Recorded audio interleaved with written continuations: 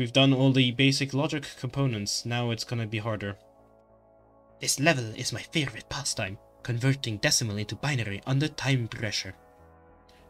Uh, toggle the bits in the level panel so they add up to the decimal number in the question. You must beat level 3 to pass. Click here to turn on timer's accessibility mode. Oh, we have to do this under time pressure. Okay, all we have to do is we just have to click the numbers so that they add up to the number here. So it's 1, 2, 4, 8, 16, 32, 64, 28, 128. Okay? It's probably gonna be very slow, to be honest. But I might as well try. Try to get as many as possible. Three, two, one. What is one in binary? What is two in binary? Oh, it's counting up. No, it, it stopped counting up. What is 6 in binary? It's 4 and 2. What is 11? Is 4, 2, 1. 12 is... What is 1? What is 14 would be this. 22 is 16. Yep. Oh, that's 24. Hang on, let's see how far we can get. Five two, four, three. Okay, that's all of them. Please don't make me do big... Oh, I double-click by accident. Okay, one more time. So that's two. So that's three. I mean, it just looks like I'm doing, like, addition. But to some degree, that's all... That's what the basis in numbers do. You ju you're just adding like powers of two. Well, normally you're adding in like the um, the decimal number system. You're adding powers of ten. Here you're just adding powers of two together to get the number you need. And to to save to save the whole having to write down each number, we just remember that that uh, the first position to the right means one, the second position means two, third position means three, and so on and so forth. Um, yeah, okay. I can't do math that quickly. Especially when I'm talking. Although I guess it was 16 plus 9, which is 8 and 1.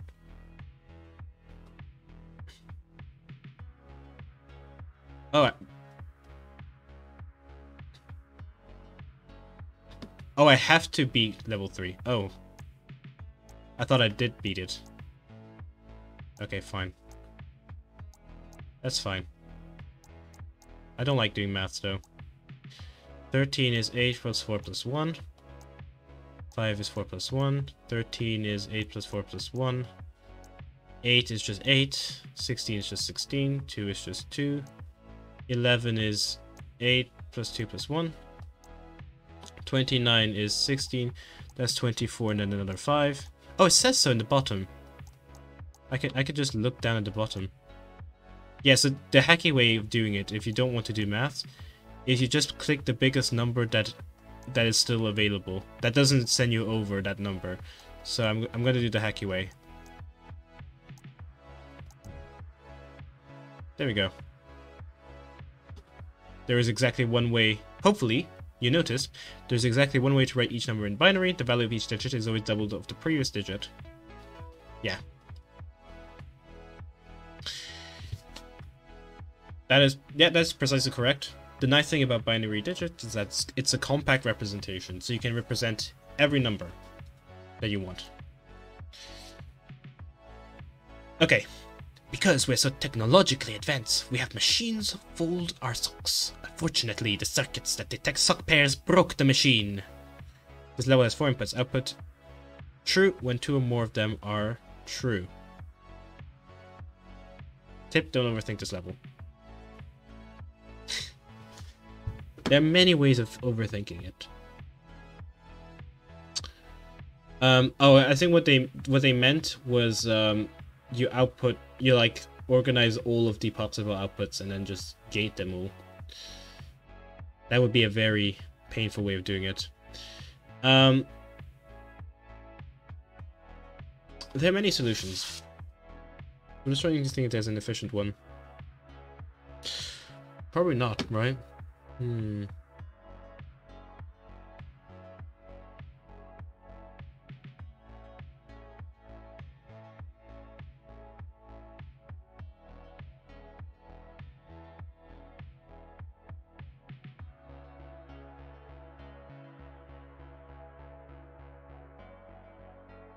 Okay, I, I think there's a there's an efficient way of doing it.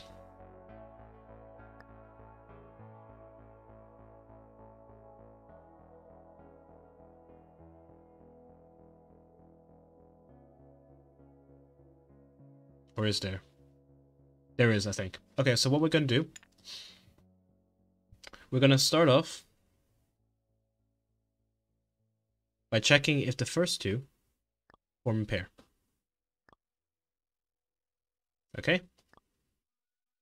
Uh, we'll have to OR it at the end, I guess. Oh, I can have multiple inputs. Oh, that's fun. A three-pinned OR. I didn't even note. I did. I. I didn't even notice that I dragged one on there. We'll do the same thing with the last two. So this checks if the first two are on, or if the last two are on. Okay? And so if the first two are on, we're done. If the last two are on, we're not. We're done. Now, if this fails, that means that one of these has to be off and one of these has to be off. Okay? So, therefore, if only, therefore, for this to have any hopes of being true, exactly one of these has to be on, and exactly one of these has to be on. In in the, in the case where they're not both on. So what we can do is we can also quickly check to see if that's the case by just ORing them. And then checking if both of these are on. And we're done. So. So we just need to connect these there. Connect these there. Connect these two together. And connect these there. There. And that's our nice looking little circuit. I guess we should pop so that these wires don't crisscross. Let me reorganize it. We will put the end at the very top. Can we move these around, by the way? Oh, we can. Very neat. I guess it doesn't really matter. It'd be nice if we could separate them a bit. So put an end at the bottom.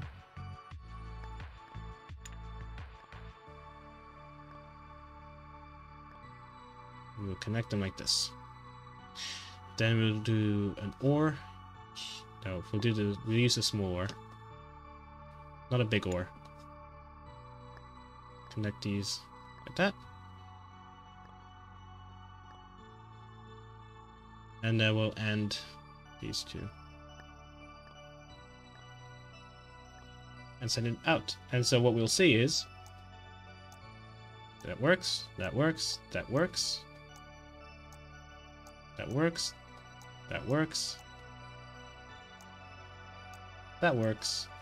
And then every, and then for the three case, this should, should all work. Yeah. So exactly what I meant. If the first two are on, this end will provide an output. If the last two are on, this end will provide an output. Otherwise, if one if exactly one of each of these two pairs are on, this end will provide an output. And in every other case, we don't have an output. Because if, say, we only have one light, then certainly the ends won't work because only one light is on. And this end won't work because, well, both of the off, the bottom pairs are off, so the bottom will not light up. Um, okay, and we're done. Easy enough. Using a maximum of three components, output a dot only when an odd number of inputs are dot are true. Output true only when an odd number of inputs are true. This level has a hint. Uh, four inputs. Okay, well. Hallelujah, that's what we have an XOR for. Yeah, so the XORs, the XOR is very special. Actually, is it special? Maybe it's not special.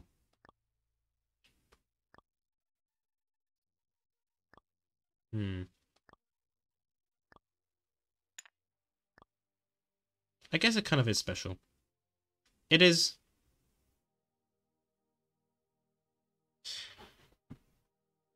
Sure, whatever. XOR, much like the AND and the NOT. You know what? I just realized. I think previously I've been calling them transitive. They're associative, is the correct term that I should be using. Um, whoops. I'll put a small edit at, the, at over there when I when I meant to say um, associative instead of transitive. The XOR is a type of associative symbol. Much like the AND and OR, which means that you can basically plug them all in, in different orders and they're the same circuit. So I could do this, or I could, I could, uh, I don't know, plug this this symbol in here like this, and then plug this symbol there in. Whatever, these are all the same. The point is, actually, you know what, let's lay it out like that. Because I think explaining why the circuit works is, is easier.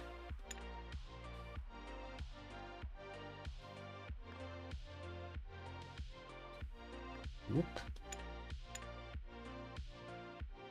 And then one final XOR.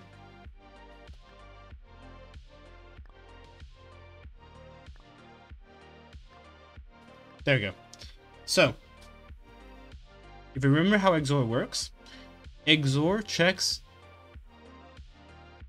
both if so I think if you right click there you go.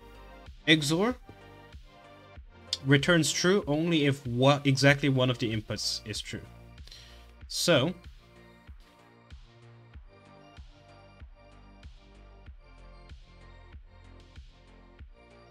in a way, what we can say is XOR is true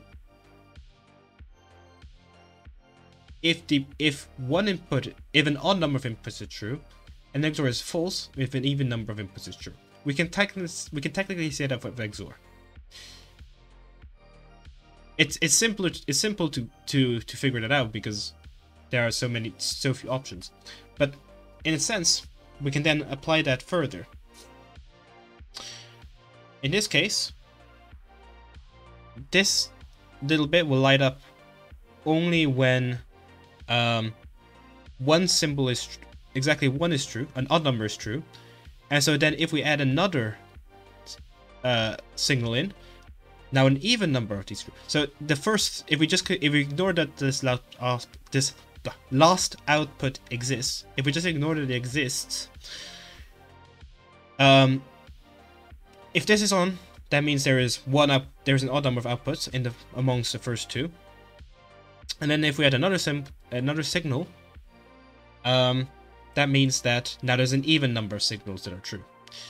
So let's take an example here. So if it's if it's on, there's an odd number of symbols.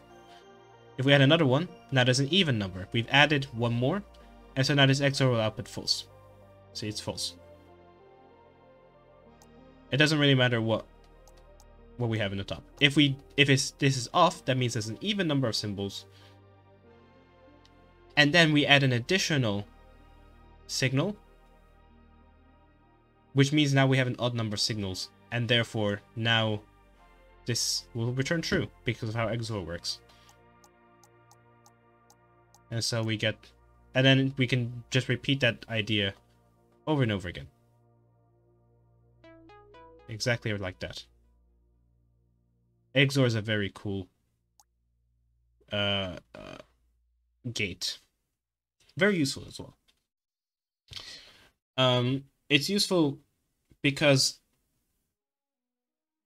it has this cancellation property. I get, I think the cancellation property might show up at some point later on, but the point is, you can ex you can XOR more than like a string, say. It was the same logic. Um, and if you do that process again with the same string, it cancels itself out. We'll see if it shows up. It probably will. In our education system, we traditionally teach by tricking students into doing the wrong thing and then teasing them. I'm not sure it benefits the students, but teachers love it. Create a circular dependency. This is a circuit where the input of a component relies on its own output. In a circular dependency situation, it is not possible to determine the output of a component because you would first need to determine the input, which relies on the output and so on, hence circular. This state is normally not allowed in other levels, but in this level the goal is to create it, so you understand what it is before going forward.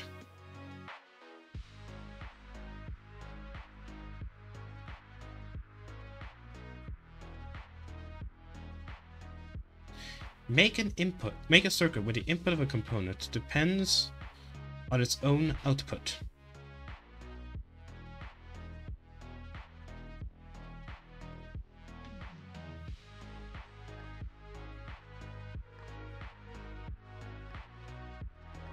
What do you mean, like something like this?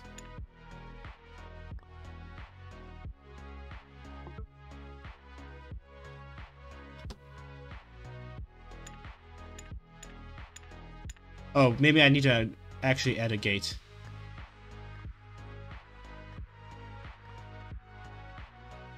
Like that.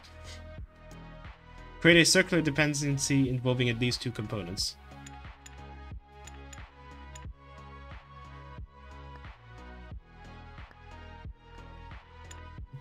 Does that mean I have to make a clash? So, this work? Hey! Okay, yeah. Well, can you do that? No, I don't think...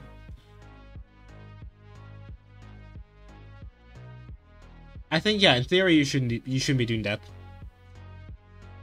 Um, at least when we talk about physical components. In the future, there's going to be this idea of recursion, which we'll probably explore later. The output component of this level is a binary counter where the first three pins corresponds to 1, 2, and 4. Use the binary counter to display the number of signals.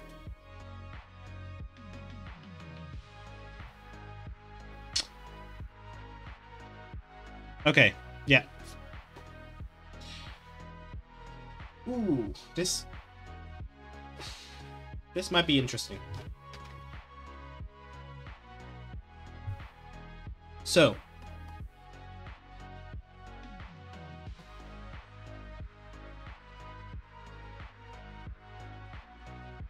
Actually, that is, that is interesting. Is there an easy way of doing it?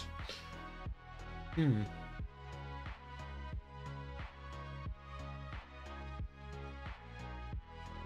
Actually, that, that's kind of neat, because they actually gave the XOR one before this level, because you could actually use it to solve this level. In fact, I think you have to.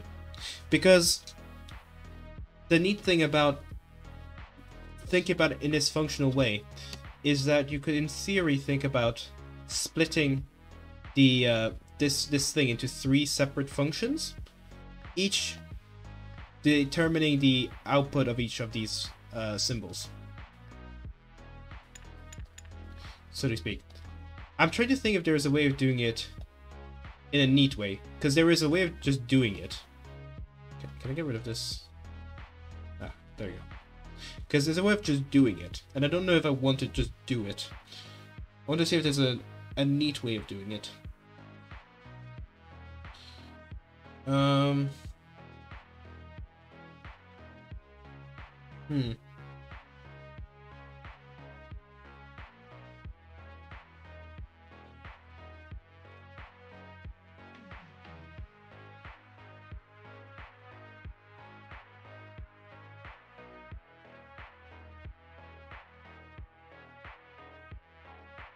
Probably not.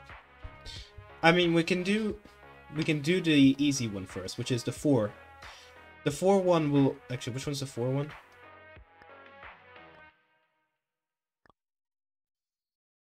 Oh wait, there, there's there's wait there is a four, is there? That's one. That's three. That'll be seven. Okay, so the four one's the bottom one.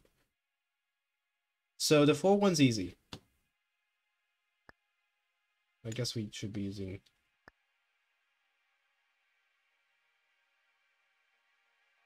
No, we can use a 3-pin one. It doesn't matter.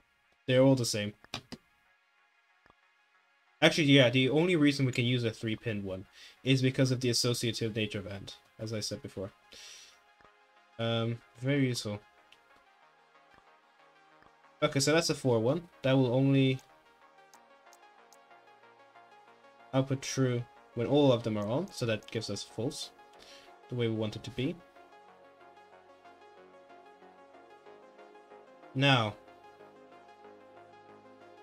for odd, we want to build that XOR gate that we that we saw previously, because that will be one exactly when it's odd, zero exactly when it's even. Uh, I don't think we have a big one, so we have to use three of them.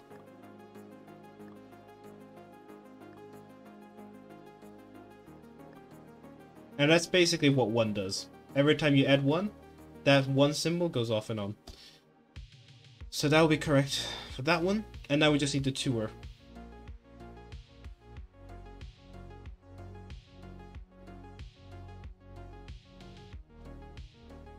The 2-1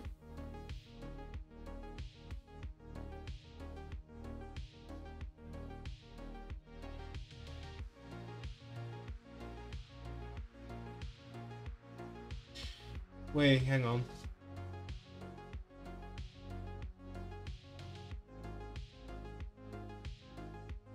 I just thought of a, of a potential hack. You know, no, whatever. There, there. I think there is a hacky way of doing it, but yeah, we'll do it. We can use the solution for the sock problem. If you remember the sock problem, which outputs. Oh gosh, we're gonna need more space. Um, the sub problem returns true if at least two of the symbols are on. And we can use this solution, although we'll have to be slightly careful. Because...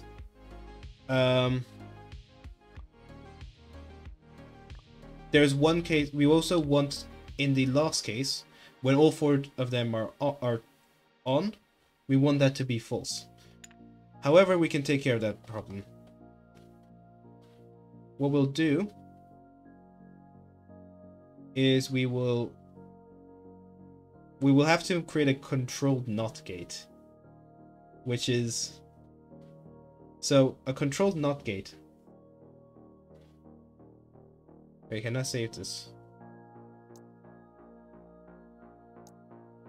If I exit, does it save? Okay. I guess I can just quickly enter sandbox.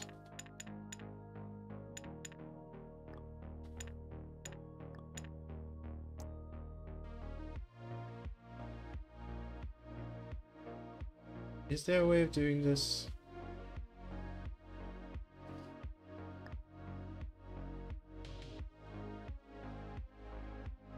Hmm. Maybe this thing?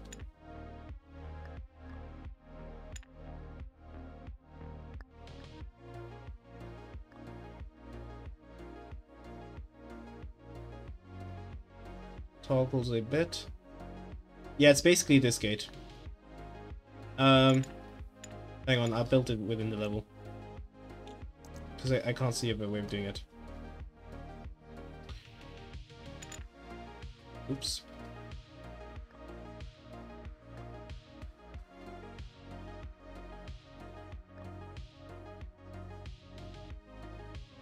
Did I just? Maybe I should do that. Okay.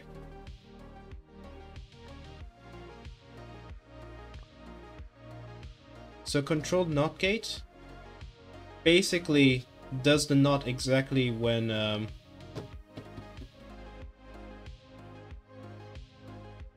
It's actually the what the XOR gate does, kind of. Except it's an XNOR gate, sorry. That's what the XNOR gate does. The XNOR gate is kind of a controlled NOT. No, it is the XOR gate. What? I just grab the wrong one? Okay, there we go. Basically, if the bottom signal is off, this just behaves like nothing. So it's so it's, it just lets the current pass through. But if we put a current through this, now it acts, acts like a NOT gate. It's false. It's false when the current is true and true when the current is false. So now it's false, so the current is true. True, now the current is false. So that's that's another use of the XOR gate. It basically acts like a controlled NOT. And we'll use this at the very end. Basically saying, if you are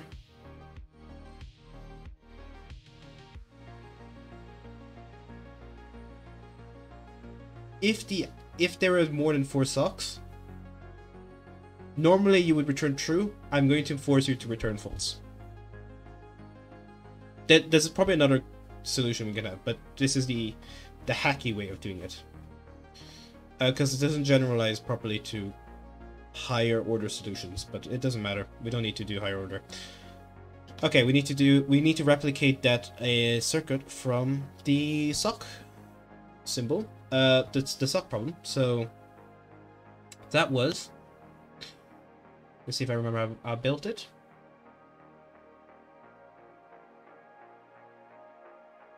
We have two ends. One on the top. One on the bottom. So let me just bring the pins out like this so we can work with more space. Okay, so we connected them like this.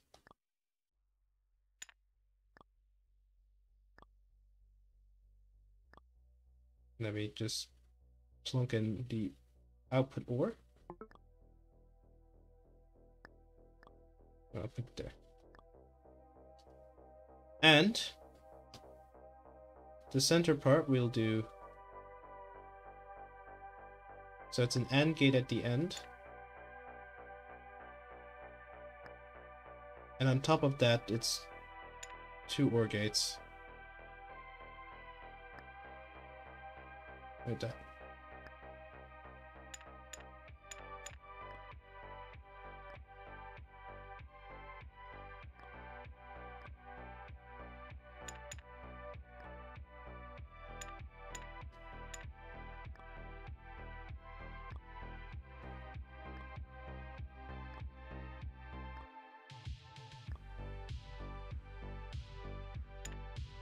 We definitely we definitely need the the two pin because it won't work otherwise.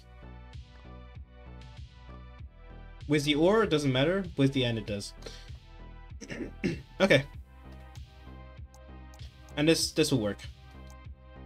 So as I said, it's the it's the hacky the hacky implementation where this would normally be on, which means it would add a two, which we don't want. So in the case when there's a four, this XOR will block the output. If we wanted to be certain, we could replace it with um, with something that only outputs if this is false and this is true. This just adds an, an extra case, but it doesn't matter. Okay. So yeah, it's a combination of three things. This is the XOR gate from from the counting signal problem. This AND gate just combines all three, all four, and outputs four if it's all correct. This is the sock problem that returns true if two or more of the symbols are true. But then we we block the sim the signal if there are four socks available because then we want it to be off. Boom. I shouldn't say easy but efficient. Probably not. We measure, we measure the universe with numbers, so your machine must learn to count. Treat the inputs as 0 1 depending if they are off or on. Add them together in binary such that the result is either 0 or 1. As with normal addition, if the result cannot be described as one digit, set the carry to 1. Fair enough. Okay. So this is what I was thinking in the previous problem is you could tr basically try this it's basically this system that we we could have built this system and then kind of just linked it to itself adding one each time. But that's not an issue. This is a, this is not a difficult problem. So XOR as I said that's how we want to do the the one thing. XOR is true when uh, one of the sim the inputs is on, and it returns false if an even number is on. So much like how even number would have an even number at the end and an odd number would have an odd number at the end, this one will have 1 at the end if the number is odd, a 0 at the end if the number is even. That's exactly what we want sum to be. The carry only happens when both of the symbols are, 1. Because that means that we ideally want to we want to uh, have 2, but we can't have 2 because we only have space for 1 in the sum. So we carry the 1 over. Like that.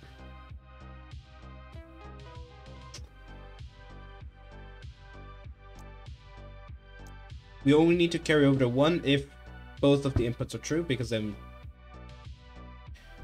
Um... Because then that means we, you know, we go over.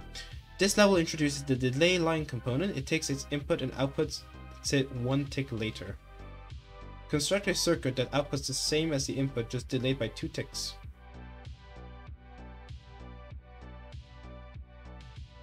But that's that adds a whole new dimension to this game because honestly, yeah, this is this is the part of the game where we start going into like mechan mechanics rather than just going into like logic. Everything before that you can just you could simulate this with pen and paper. Now we we're getting to the um, as in you could write it down in mathematics. Here, this is gonna be painful, because we're gonna have to deal with time, timing, you know, parallel components and all that jazz. Anyway, we need to make something that's delayed by two. We can just do this. But just adding two components. There we go. The input and output of this level are using bytes instead of bits. One of the two new components you're given takes a byte and splits it into bits, and the other does the opposite. Using those components, figure out how to double the input number. Okay, bits. So a byte is just 8 bits, basically. It's basically a number that's between 0 and 100 and uh, 255, including the last number. So it's uh yeah, so it's just um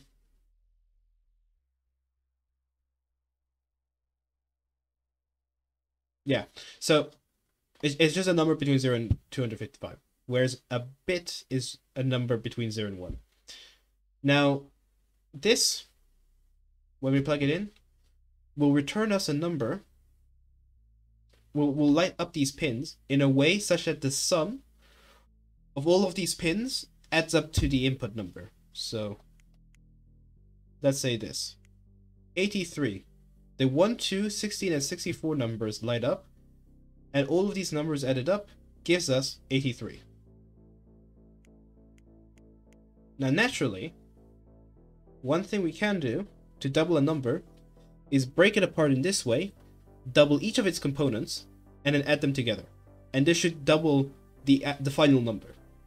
So what I mean is, 32. 32 is equal to, well, 32. What we can do is we can double it to say 64. Actually, what I'll do is I'll, I'll, I'll be cheeky. I'll, I'll move it up by one like that.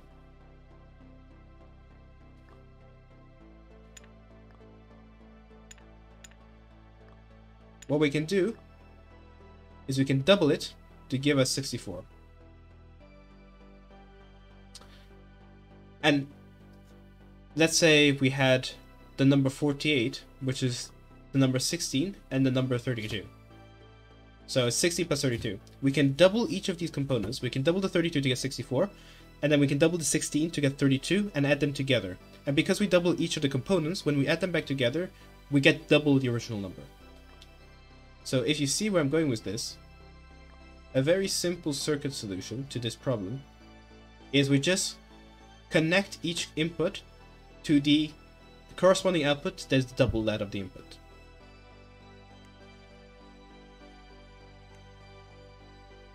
And this will have the effect of doubling, as you can see as I put various inputs in. This will have the effect of doubling the number.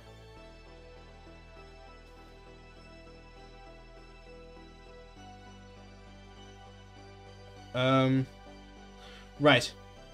Except in the case when we have integer overflow. So in this case, the number is smaller, and that's because normally we would double the 128 and add it back in. The only issue is we don't have a number, we don't have access to the number 256 because it doesn't exist in this board. So this will work.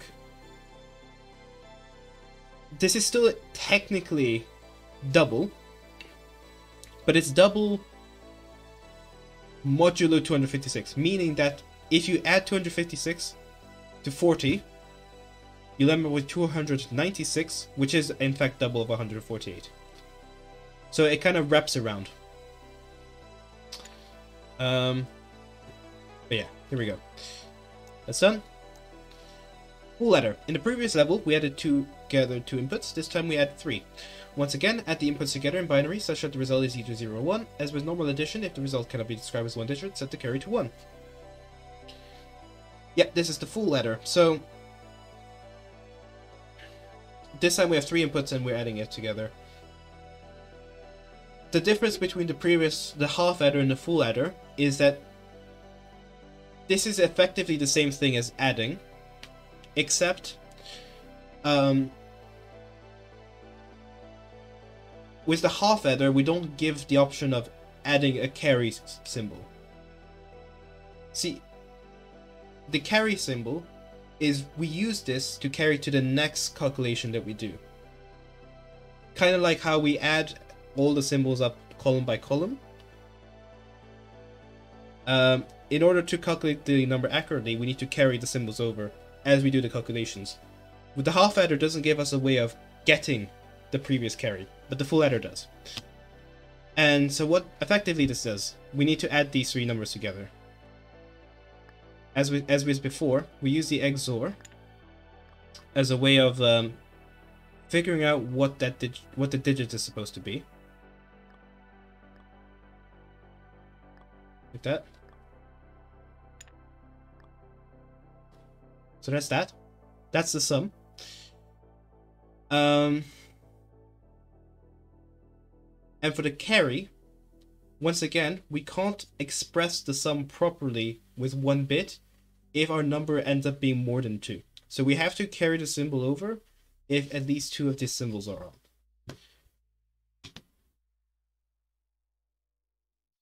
Uh, which, how do we do this?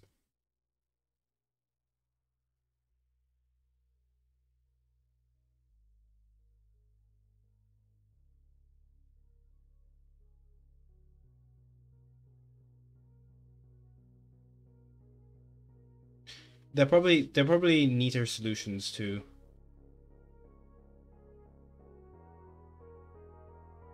To what I'm thinking. Um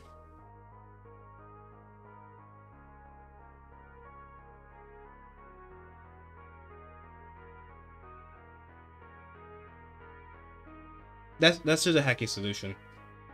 Not the hacky solution, but like the the the long one. We take we check if the first are on. We check if the second two are on.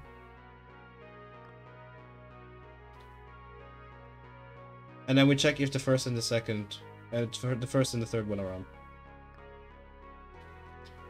And if any of these turn on, this means that we, not this one, we need the triple And if any of these symbols are on, this means that if, if, if any of these are on, this means that at least two of these symbols are on, which means that uh, we have a carry. Because we the, the actual sum is more than one, which we can't represent, so we have to carry the symbol over. Like that. Um, there's probably a cleaner solution than this, but sure, go for it.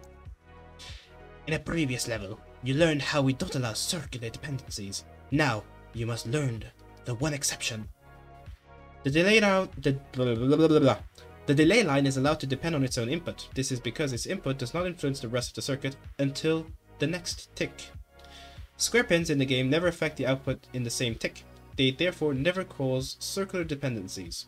Output dot on the even ticks and a false on the even ticks and true on the odd ticks.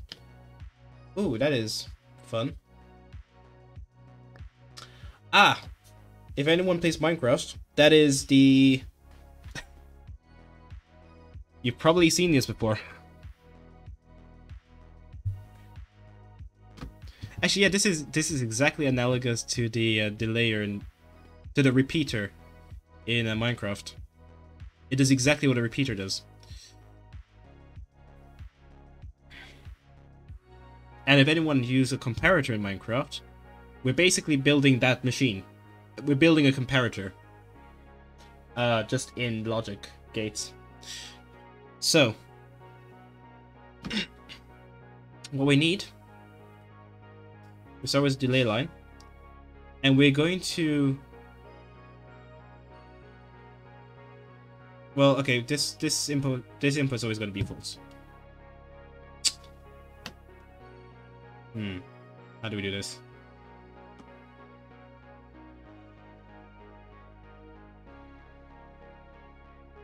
I think we we use an XOR. So, or an XNOR. Oh, it doesn't even give us an XNOR.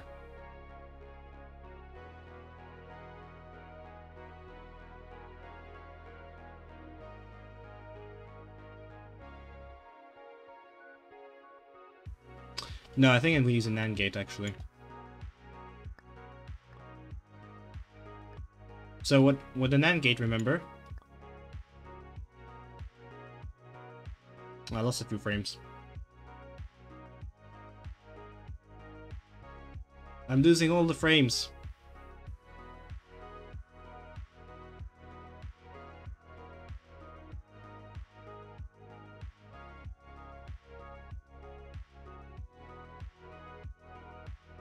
I'm waiting for the, the the the stream to become stable again. Because it seems to be a bit of instability at the moment. Okay, I think we're back. Yeah, we lost around 600 frames. Fun. Okay. Remember the NAND gate is true except with both... Oh wait, we need... We need this to, to be true then. The, I guess that means we need a NOR gate.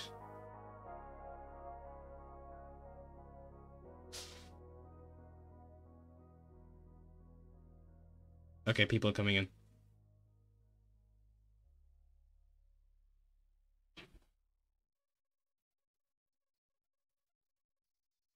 So, wait.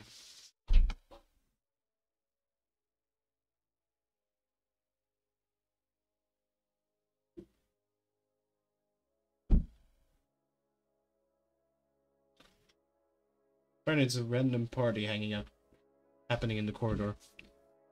Um, I'm hoping it doesn't ruin the recording too much. I don't know why they suddenly appeared. It's it's late. Anyways. So, with an AND gate,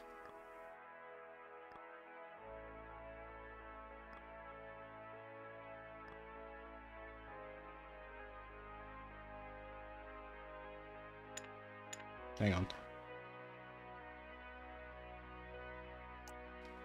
Oh wait, the ticks are not on. We need to... Like that. Okay. So let me restart. Hang on, let me let me let me do it step by step. so yeah. Oh, we don't even have to be this complicated. We don't need to use an AND gate, we just need to use a NOT gate. Oh, we can rot can we rotate this by the way?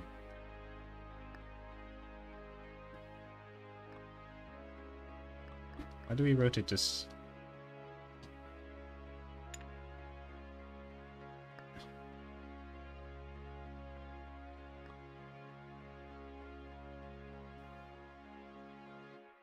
Okay, I don't know if we can rotate it.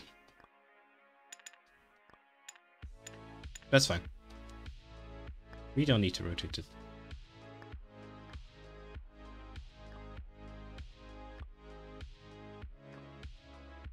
Okay.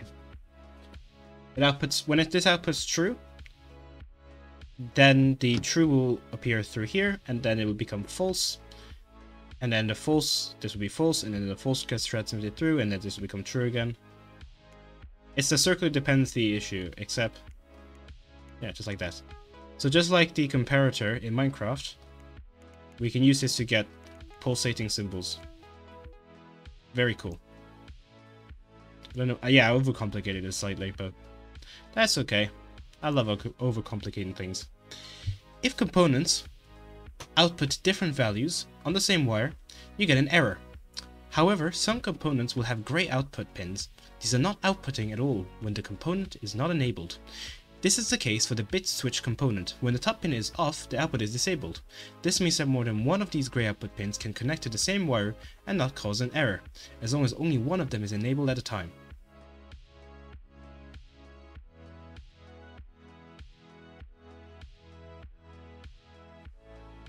Using two NOT gates and two switches, build an XOR gate. Okay, I see what I mean. So, I'm guessing normally, if I did something like this, Oh, okay, I guess they're not complaining.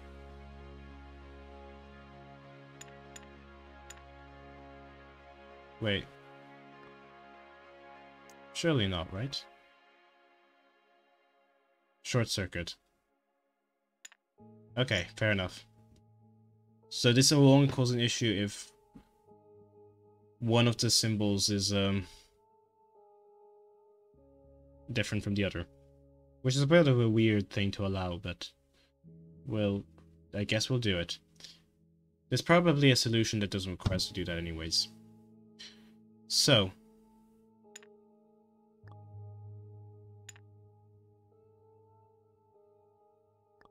So what this does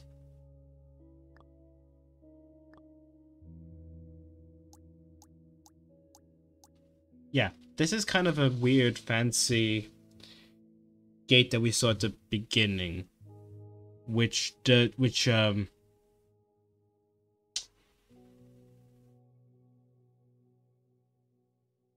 which basically outputs zero except when the first input is true in this well I guess except when both inputs are true in this case this is just an AND gate. Sorry. This is just an AND gate. Except the difference is it doesn't short circuit if the bottom one isn't on.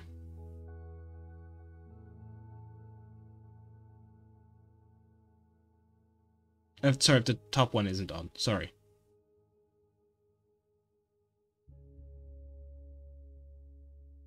Interesting. Um,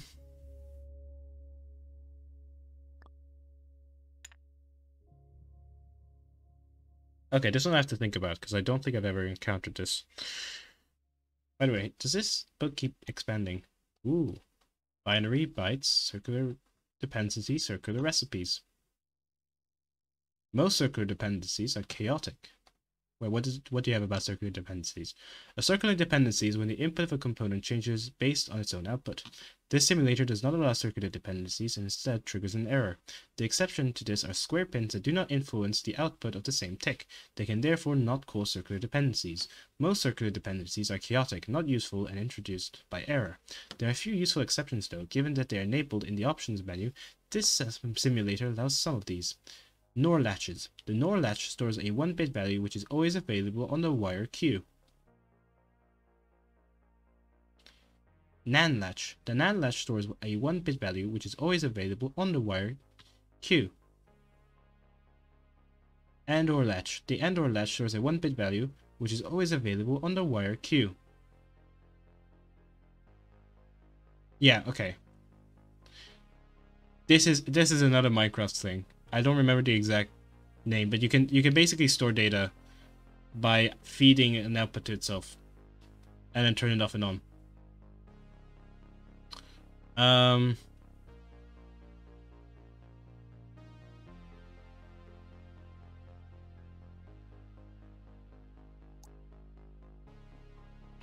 Okay, my the internet is unstable again. Um. Okay, let me go back to this thing.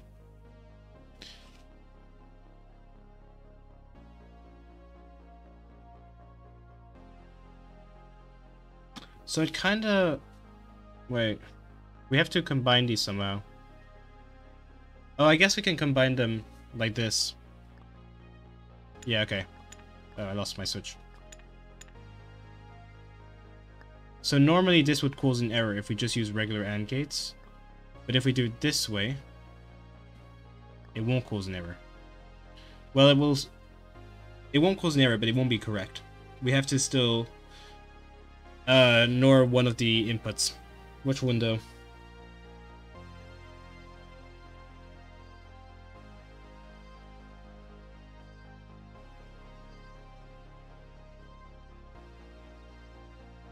Well, we want to keep it off as much as possible.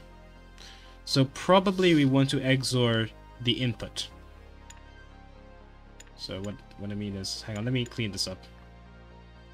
So we'll do this. And for here we go here. And there. Okay, the switch is there. We're gonna XOR the input. No, that's the output. That's sorry, that's uh, the the switch. I think.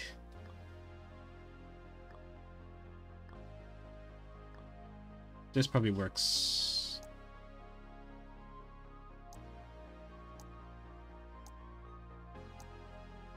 There we go. I think the other solution would work Except for the fact that um, it might lead to a short circuit, probably. Yeah, both of these are on. I guess it wouldn't really be a short circuit. Oh, but it wouldn't work either, right?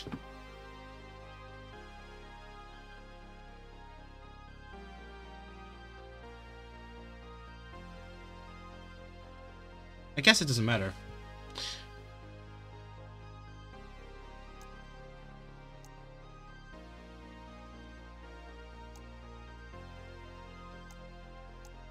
And I guess there's always a scenario.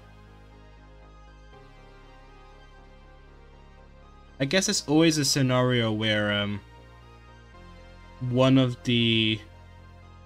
Where they're both going to be on. I think, probably. Unless... Ah! Okay, unless... No, scratch that, scratch that. I think this is the actual, the intended solution.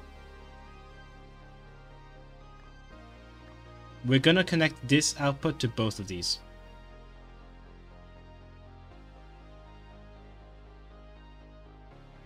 So only one of these is gonna be on. Okay.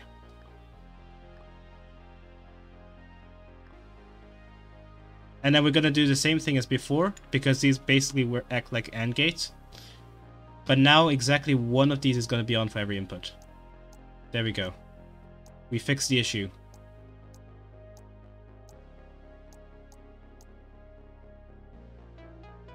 Okay. Got it.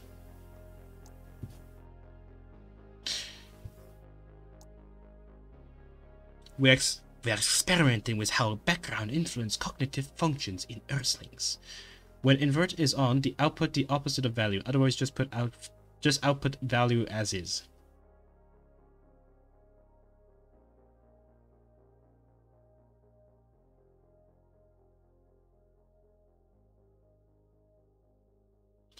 So as you can see, this, this table just looks exactly like an XOR table.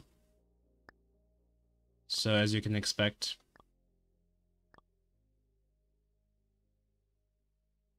Despite the funny background, you figured out this was just an XOR gate in disguise. Well done. Cool. Uh, very cool. Ooh, we could maybe get all of the uh, the logic gate stuff done this time. That could, that would be fun. Assembly challenge. Are we really halfway through this? Oh well, that, that was too optimistic. Maybe a third of the way. Close, close to it though. You may think it is unethical to eat all the earthlings that don't win the competition, but actually it is okay because you lived good lives in the wild and we don't let the meat go to waste.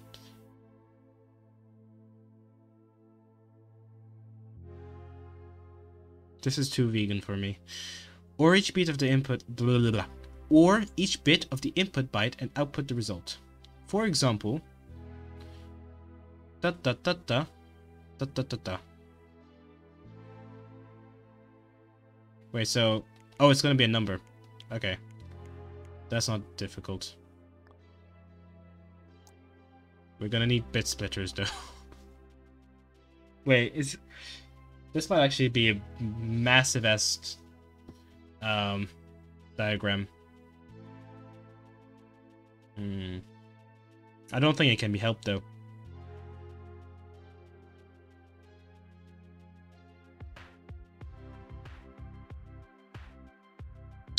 Yeah, okay, we'll do it. Although we'll separate these two out a bit. Because there's gonna be a lot of wires.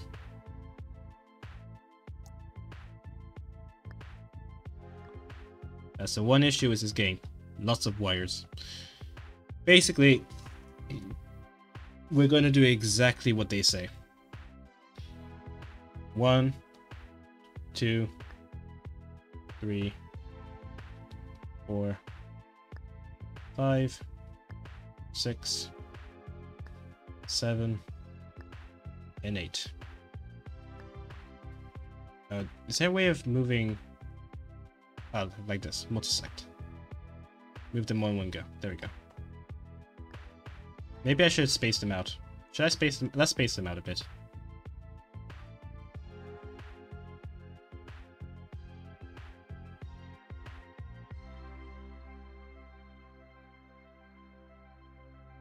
There we go. And now, fun part. We connect all the wires.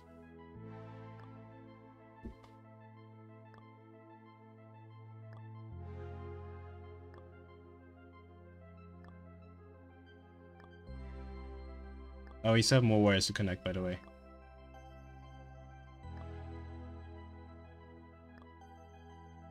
Look at how pretty this looks.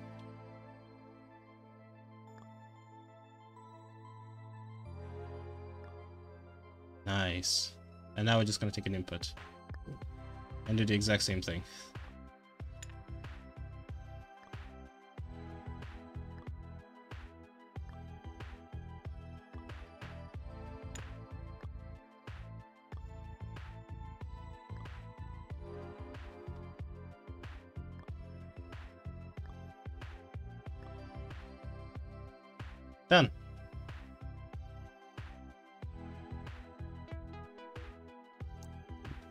Yeah, this was just a as-is kind of problem.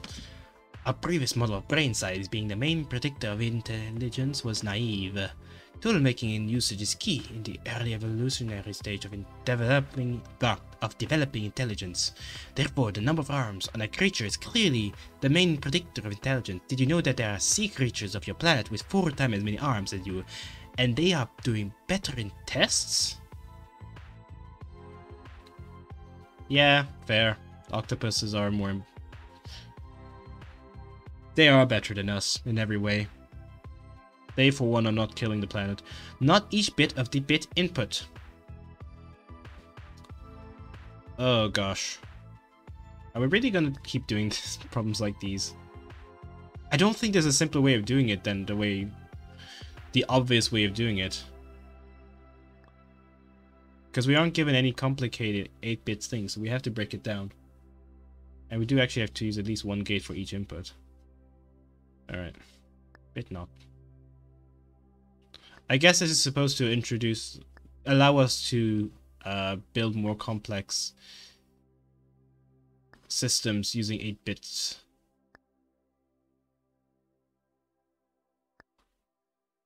gates. One, two, three, four, five, six, seven. Okay.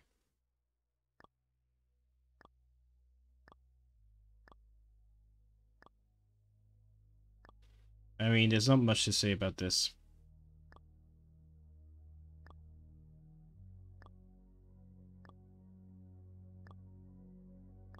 Oh wait, did I miss? Oh no, I didn't miscount. I thought I didn't put enough not gates down. Okay. Run. Yeah, this is not exactly a hard one. Add the two input bits. Each output bit in the output should be a result of the addition of the corresponding bits from the input and potentially a carry. If the result does not fit in 8 bits, turn the output carry. You can think of it as the ninth bit. Finally, there is an input at carry as well. This is useful for combine for chaining together bit byte adders to add larger numbers. You can think of this carry as adding either 0 or 1. Use this hint if you get stuck. Okay, this one might actually be a big one. A big. As one might say. Whoop. Wait, what? What's this thing?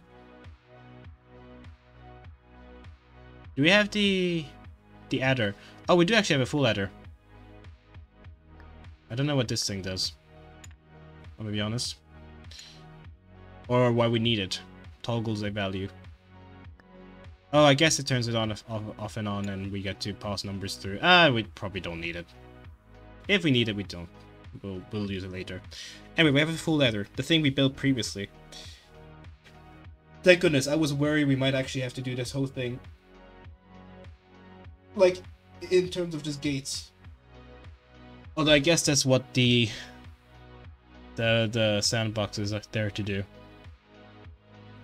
So yeah, we built the full adder this particular way on purpose. So it's eight. It's eight of these. We'll need eight of these. One, two, one for each bit.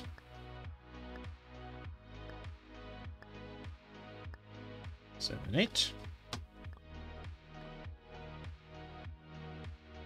Let's put the... So, the carry will go on top.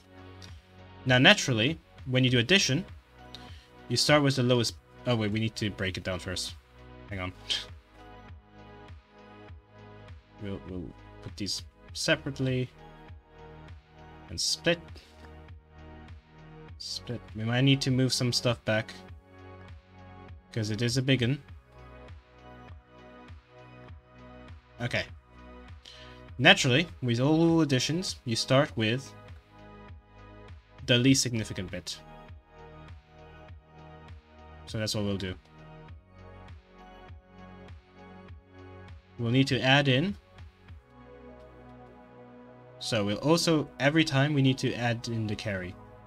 A carry is just like adding an extra thing. So we'll add the first digit. The, which one's the, the sum I think is the top number. Oh wait, we need to do it in 8 bits.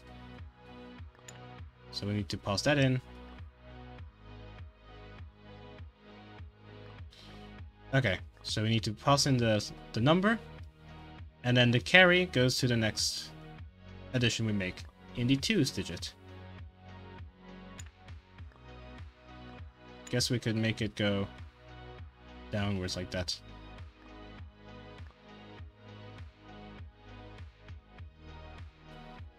Like that.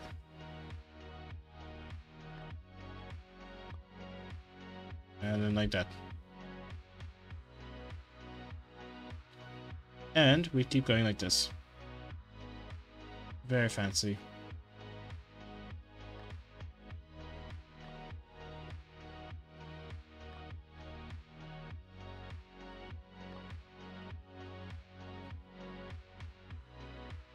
There's not really much to this to this um, to this thing. So we'll we'll just we'll just chain all these together. And then yeah, the, the final carry will carry it over to the next bit. Oh wait, we want to do we want to plug into the bottom one. So we add the two digits of the same denomination. And then if we have to, we carry it over to the next digit. As I said, exactly how we do regular arithmetic. Okay. Then we need to plug in this. Plug this in. Bonk. And here we go. We got our full-on calculator. Let's test it out. If we want to add, let's say, 12, so that would be this. Oh, okay, it's it's arranged that way. Okay, so 12 would be this. 12 plus... Let's choose easy numbers. 36 would be this. No, this is 48. There we go. If we add 1, 49. Exciting. Um, should we add 64? So 64 plus 36 would be 100. There we go, it works.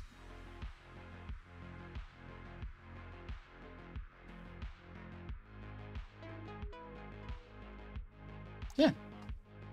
So it's a full-on calculator. which is adding the digits together just like you would do on a, in a proper summation. You write down the two the two things, matching up the columns, the zero, the ones, the tens, the hundreds, and then you uh, you add the two digits up. You add a carry, and then you do it again. Much we basically did the exact same thing. You need you need to know the difference between things. You need subtraction. Oh, to know the difference between things, you need subtraction. To get subtraction, first you need negative numbers. Ooh, si signed integers. This level introduces two's complement, the most common representation for negative numbers. Here the highest digit is negated. For bytes this means the eighth digit changes its value from 128 to minus 128. To, you finish this level when you get to level 3 or beyond. Please give me more time. I, I am going to die if they give me 10 seconds to do maths. Okay. So this is the exact same thing, except 128 is now minus 128 instead of plus. But we're still doing the same thing, we're just clicking numbers to try to add up to a number. Okay, what is 1? 1 is still 1. 15 is still all of these. Minus 1 is all of them. The top, minus 2, we, we remove 1. Minus 3, we remove 2. Minus 5, we just remove 4. Uh, minus 14. Like that. Minus 12. What is minus 8? What is minus 16? Minus 2. Like that. Minus 23. Uh... Ah, shoot.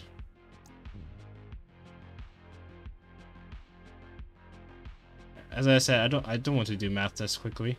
To go between negative and positive, you flip all the bits and add one. If the highest bit is um, this, the value is always negative.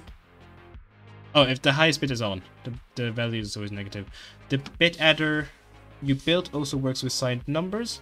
There is still only exactly one way to write each number. All correct. Yeah. It's basically just the same number representation, except you minus 128 instead of plus. Even though he did not pass our test, we decided to keep the dog. Unlike most Earthlings, he is fluffy and follows simple instructions well. We might want to team you two up, since you complement each other's shortcomings well. When the bit selector input is false, output bit A, otherwise output bit B.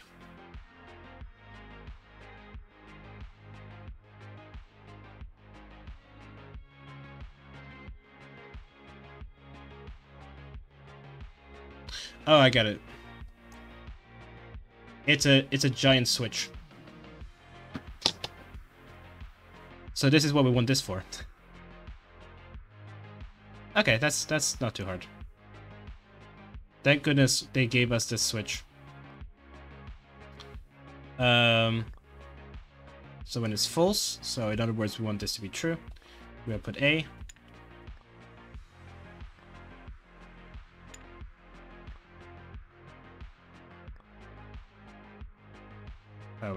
need to plug this into there.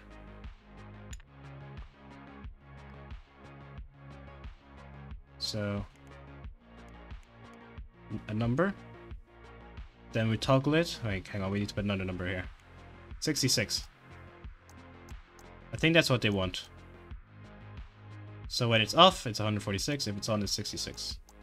We're using the exact same technique of just using a switch. Perfect. Next, taking an input as signed, where the 8th bit is a minus 128, make a component that takes a number and negates it. For example, 4 negated would become minus 4, 9 negated would become 9. Yeah, so this is the important part about these numbers. So let's see. What's important is all of the numbers added together is minus 1.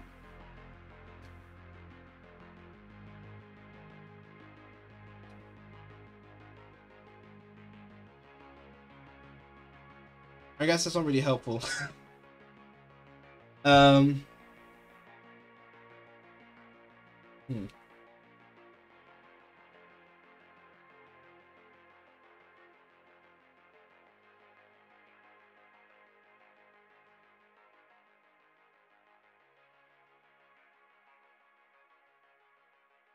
So yeah, he did say this in a previous comment that when you flip all of the bits, you basically what you're doing is you're you're getting its negation plus minus one.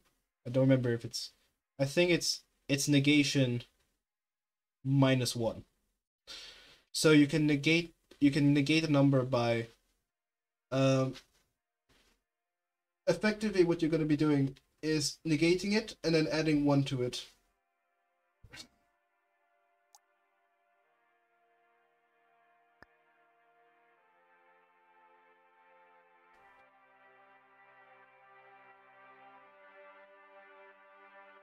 For this number, for this level, you probably want to turn on signed numbers, so the highest bit show shows as a minus 128. Click plus 255 located in the top panel. Oh, thanks. Um, yeah, we're gonna use this adder.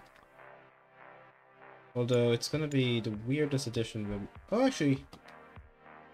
Hmm. I don't know if it's efficient to do it this way.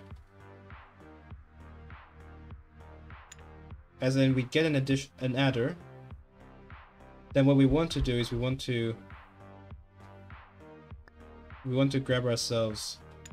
I guess we technically want to grab ourselves a number zero. Wait we want the other one. This. Does it automatically become zero? Okay thank goodness.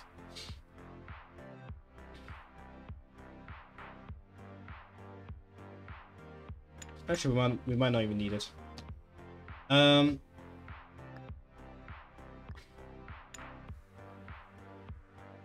Yeah, so how do we play how do we explain negation? Actually no, that's that's exactly how we explain negation. So I will do this using paint. We're gonna do it using paint. I can still hear so much noise coming from the other, the other room. This is can you see the entire thing? I think you can. Okay, paint. Oh gosh, I need to plug in my tablet. I unplugged it to get myself more space, but I should have I should have known that I'm gonna need to write stuff. What's the time by the way? I'm having way too much fun. Okay, we have around 20 minutes left. Yeah, I was thinking this was gonna be too cerebral. It's gonna become more cerebral when we start doing assembly. Uh, trust me, this is gonna become stuff that I can't even do, really. Uh, okay. So just double checking. Actually, I'll I'll do this. So.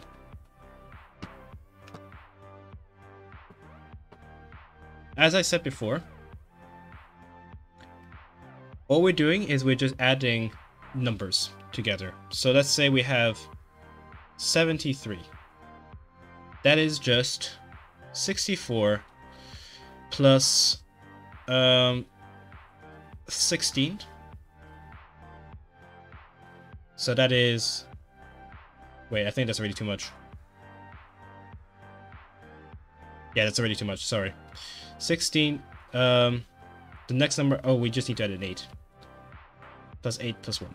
There we go. So, now, I, now at some point I said the following. If we add all the numbers up that's available, we get minus 1. Minus 128 plus 64 plus 32 plus 16 plus 8 plus 4 plus 2 plus 1 is equal to minus 1. You can check the math yourself. The point is, if we flip all the bits, that means we're adding all the numbers that are not in this list. So that's minus 128 um, plus 32 plus 16 plus 4 plus 2. So we get a number here. What is this number? Let's call it x. All we know is that if we add the rest of these symbols, so if we add the 73 to it, that is equivalent to adding all the numbers up. So we, we have some of these numbers, we're going to add the rest of the numbers that we skipped over to this sum, and then what we're essentially going to get is this minus 1 back. So what we get is actually x is equal to 70 to 73, no, minus 73 minus 1. So essentially, to get a number back, well, all we need to do is we need to add 1 to, to its negation when we flip all the bits. That's all we have to do. To, to basically remove this, this, this minus 1.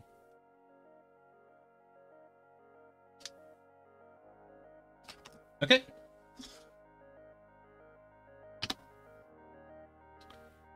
So, if we go back to the game, and I re and I clean up my dang feed that's covered in stuff.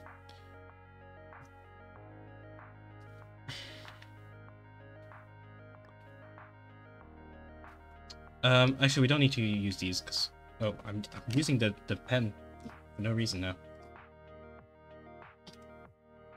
Uh, I probably should. I should be unplugging it, but maybe I'll use it later. Okay. I think we have a logic not. Yeah. We can just use the logic not, and then all we then need to do is add an additional bit. So, we pass this to the not, and as predicted, it will become its negation minus 1. So, let's say we have, if we just plug in random numbers, see, it's always going to be its negation minus 1. Then we just have to add 1. There really is, I don't think there's an easy way, well I guess probably this is the easy way of doing it.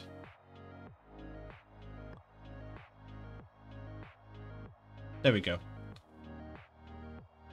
It's technically not the proper way of doing it. We're using the carry in kind of a hacky way, but this is how you would do it. Um,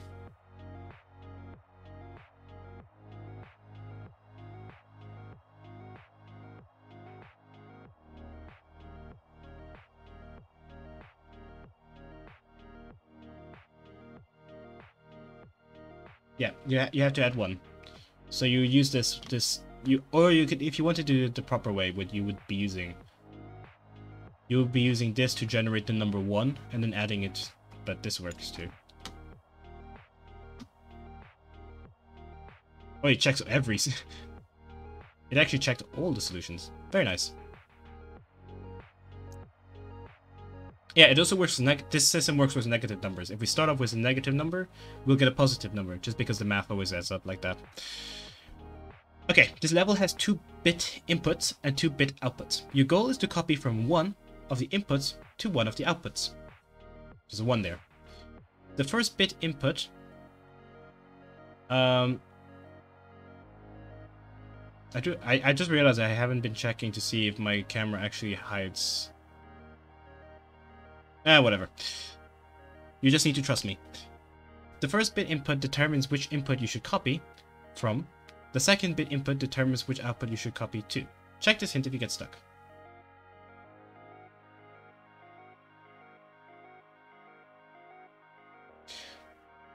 Sure it's fine. Um, wait, actually I might need to brief again.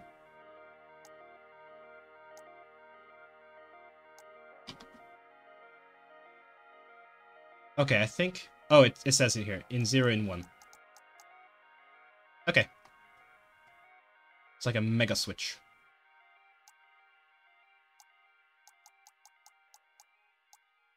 Kinda.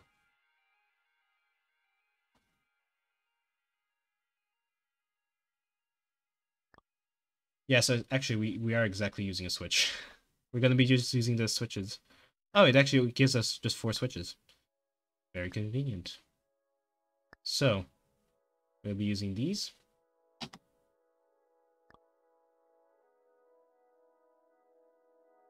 We connect these. I assume we get access to some nots? Yes, we do. So if we accept the... So what we're going to do is we're going to connect these together.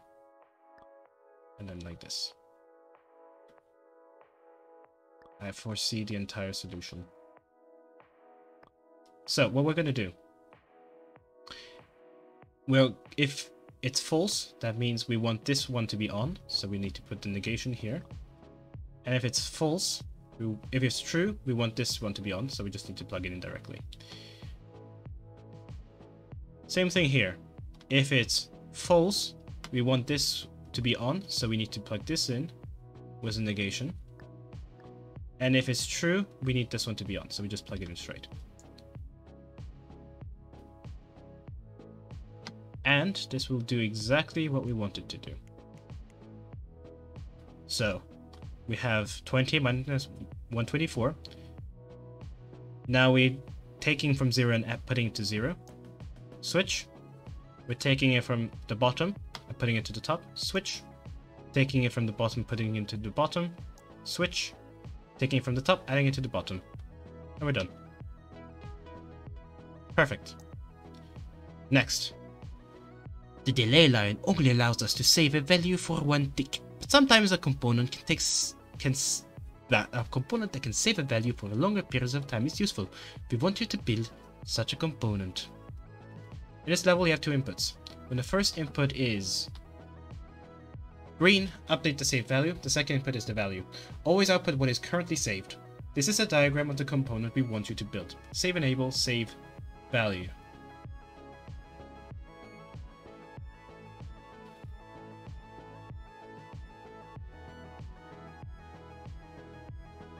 Okay, I see what we need to do. So yeah, so this... Oh, we already have that a little bit. Cool. So this little bit is going to be feeding it into itself. Basically. Just like constantly.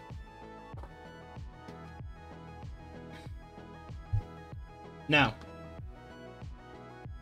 I think this is where we use two switches. Again. It's always switches. It's always switches we'll plug this into the first switch, like that, bonk. We'll plug this one, we'll plug the new value into the second switch, and we'll connect like this. And so now all we need to do, same thing we've always done. If it's false, we don't save, meaning we want the first value to repeat itself. So we plug in negation to this one. If we do want to save, but we don't need the negation. We just plug this straight in. We're done. This will always output the current value. So as you can see, currently, it's off. Now let's say I turn on this thing. Oh, I turned on save. Hang on.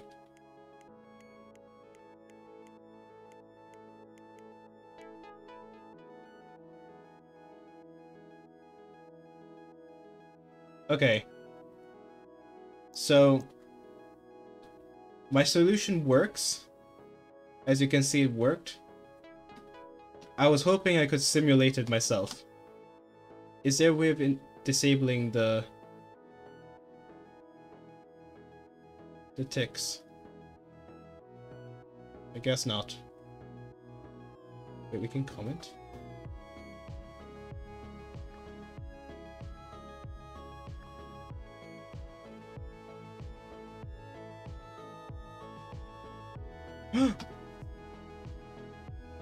Always leave helpful comments. Okay, that's actually kind of useful. I guess the point is it's going to become more complicated. Yeah, so it does exactly what we need it to be. There's no way I can show you properly.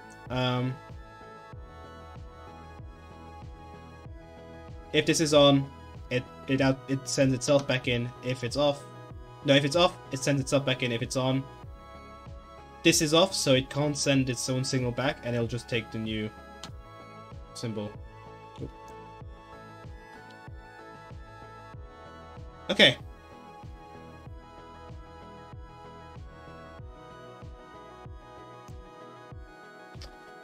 Next system. Create a circuit that can save an or load a byte. When the first input is true, load the memory and send it to the output. When the second bit is true, save the input bit byte. The output has an enable pin. Enable it only on load.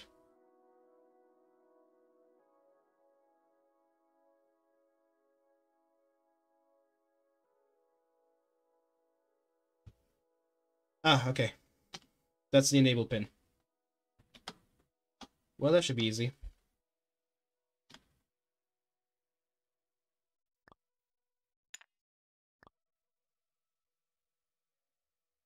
Done. And then the save bit, it, we do exactly the same thing as before.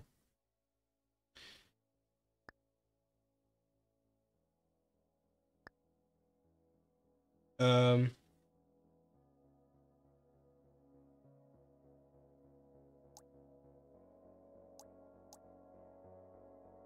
Except we don't have a delayer.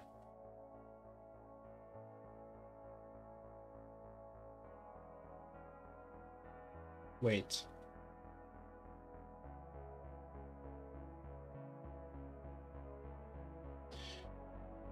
I think we need to build it ourselves.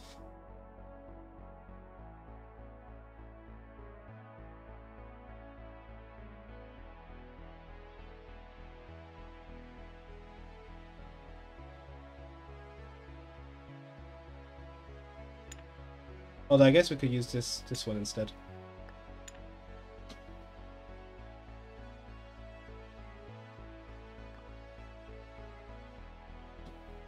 So we connect this one here.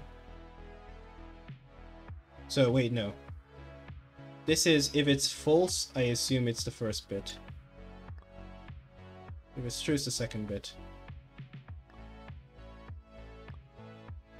So, so the load will still be there, the save will be here. Um, hang on. I think we might have to to build a delayer for um 8 bits ourselves. By the way, this output will feed it to itself. So this is gonna be This is gonna act as our delayer. That we're gonna just plug back in like that. Um. Oh wait, what's that one?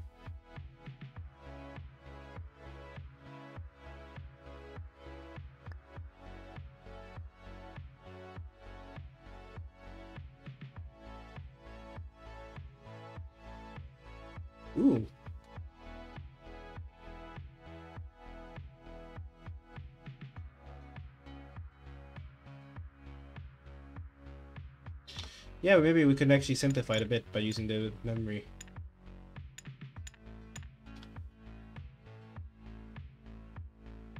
We just use eight of these.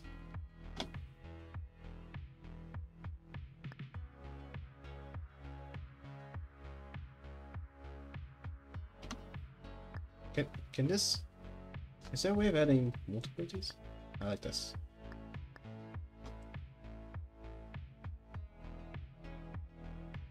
Okay.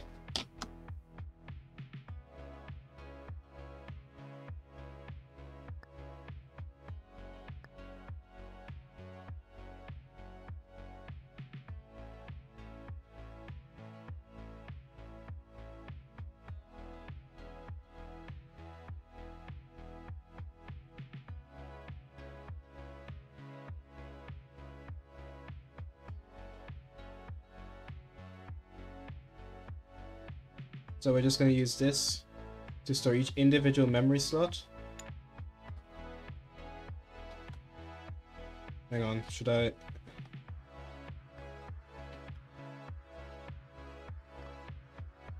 No, I'll just do it.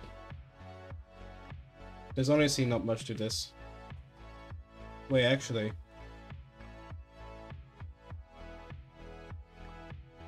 I think this is the correct implementation. I think it was bottom was the input to save.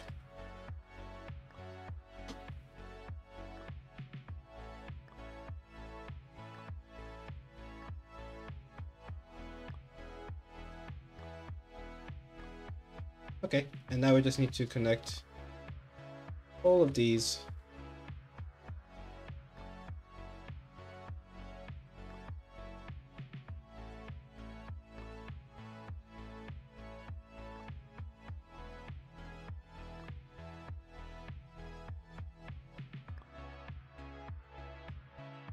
that. And like that. So now it's just like, oh look, a number. Take. Ah, okay, it's doing it for us.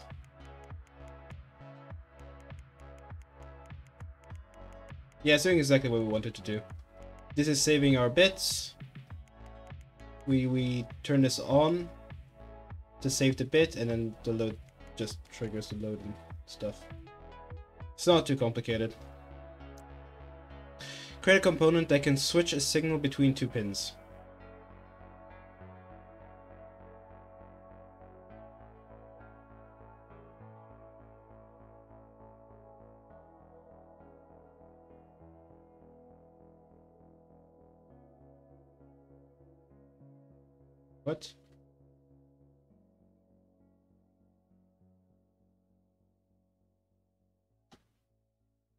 Wait, so all it's doing is, uh...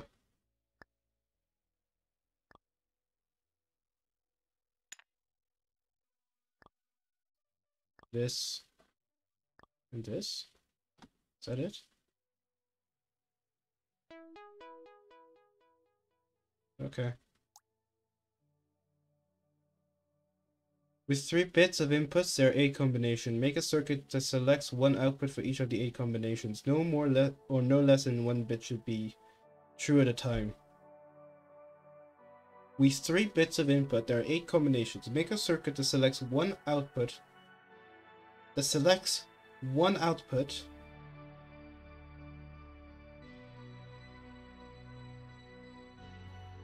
Okay, wait, hang on. Ah, I see. Three inputs. Eight outputs. And they want exactly one of them to be on. Oh wait, they actually want a specific one to be on. Okay.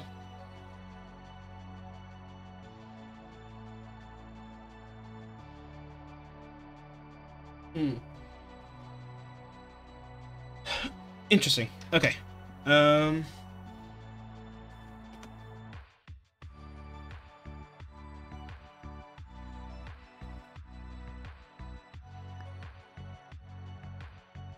We could probably use these actually.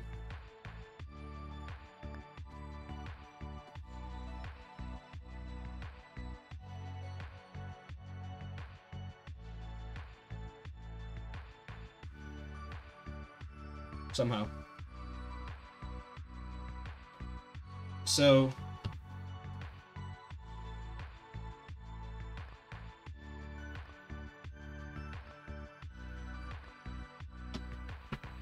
since we since we have access to them, you know, we should probably use them. Um. Yeah, so we have our true we have our true and false, and then I guess what we need, should do.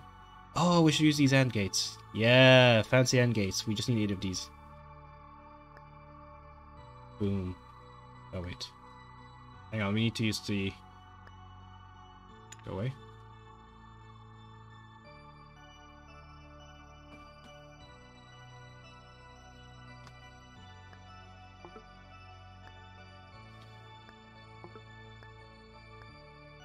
There we go. Okay. So because exactly one of these is going to be on at a time, if we just do every possible combination. So that one, uh, which one will do? Oh, we need to also do it a specific way. So the second one. Oh wait, we we have to do the bottom one. Yeah.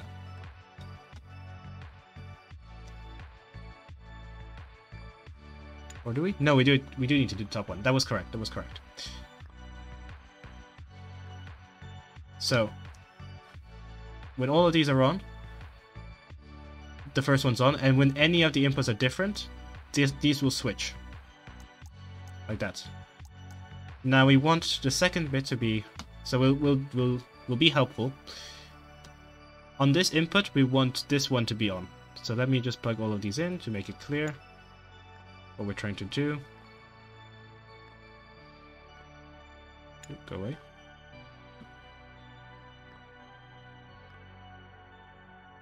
So, when in this case we want the second this second one to be on. So in other words, we just all we need to do is we just need to collect all of the the green ones that are currently on. Like that. Oh, second one's on.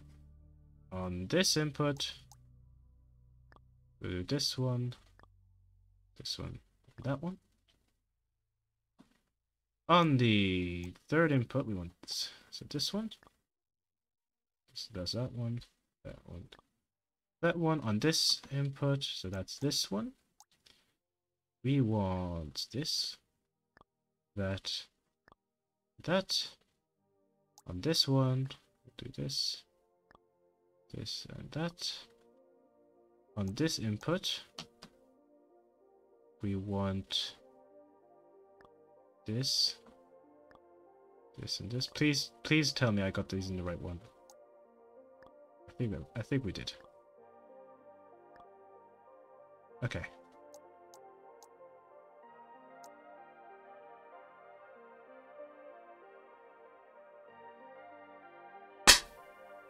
Perfect. We had our interns add a disable bit to this component. We were tired of looking at him running in circles and were looking for other pointless and tedious tasks to give him. I don't know what that means. Create oh wait, we don't need the accent. Create a device that can add that can or, NAND, NOR, or AND two inputs.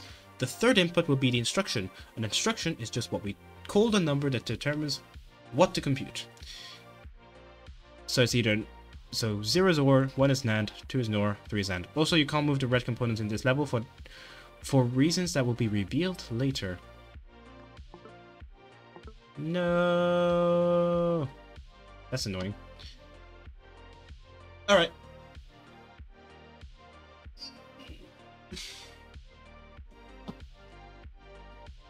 I like moving them around. Uh, do we, I think, in theory, we should have all of the symbols we need. Because OR and NOT both, we can use OR and NOT to form any, any uh, circuits that we want. So it just comes down to um, selecting the right circuit. And I guess we do this using a bunch of switches. Actually, do we have access to the... We do have access to a bit decoder. Fun. Ah, and that's the disable thing that we were given. That's what that little thing that says. We're giving this little thing. Fun.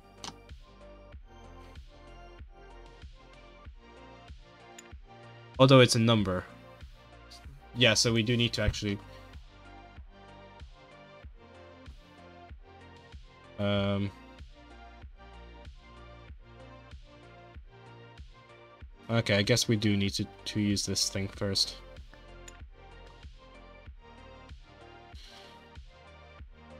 Hmm. and then how do we do this? Okay, so let's let's let's set everything else up first. Because all we're gonna be using all we're gonna be doing is four switches.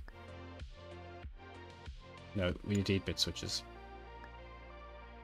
And we're just gonna do the arithmetic first. And then we're just gonna switch. Or are we? Actually, wait. Wait, I have a, I have an idea. Or, NAND, NOR, AND.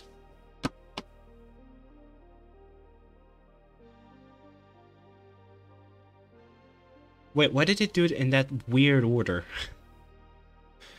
why?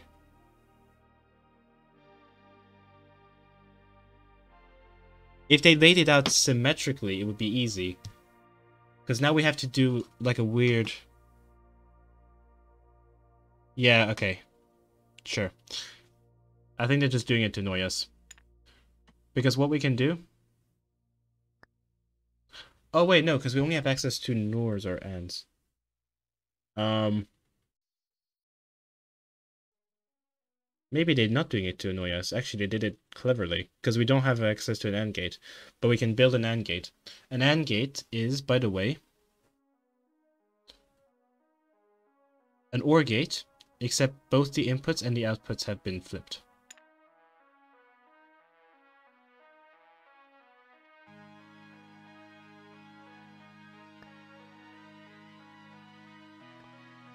This is an AND gate.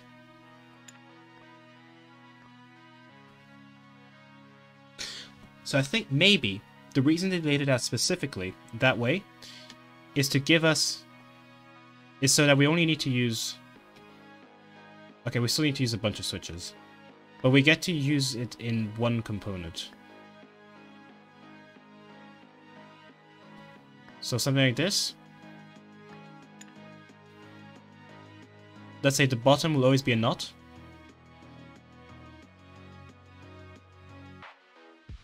And then the top will be... Yeah. And here will also be NOT. Exactly in this manner. There's going to be an OR in the center.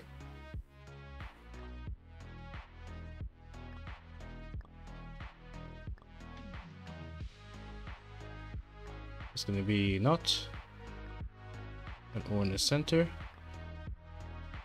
I guess we can do that.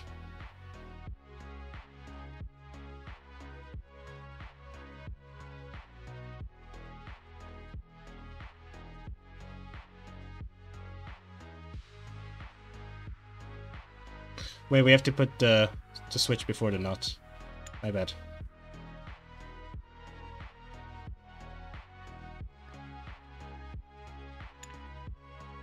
Wait, shouldn't.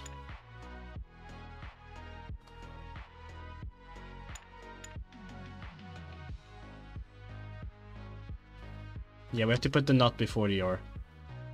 Because the NOT is still making stuff. The switch won't. Wait, where's this one coming from?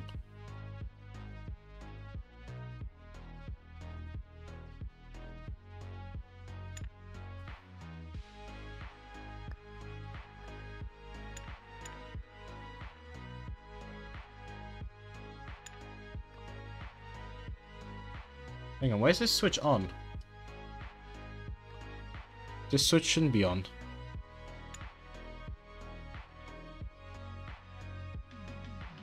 Ah, there we go.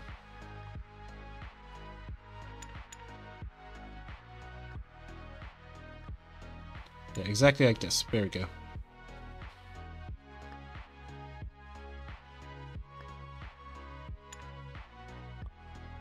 Boom. Boom. Okay.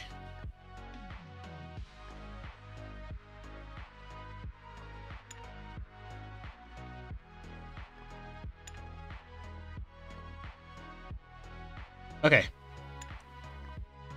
And now the idea is that we can toggle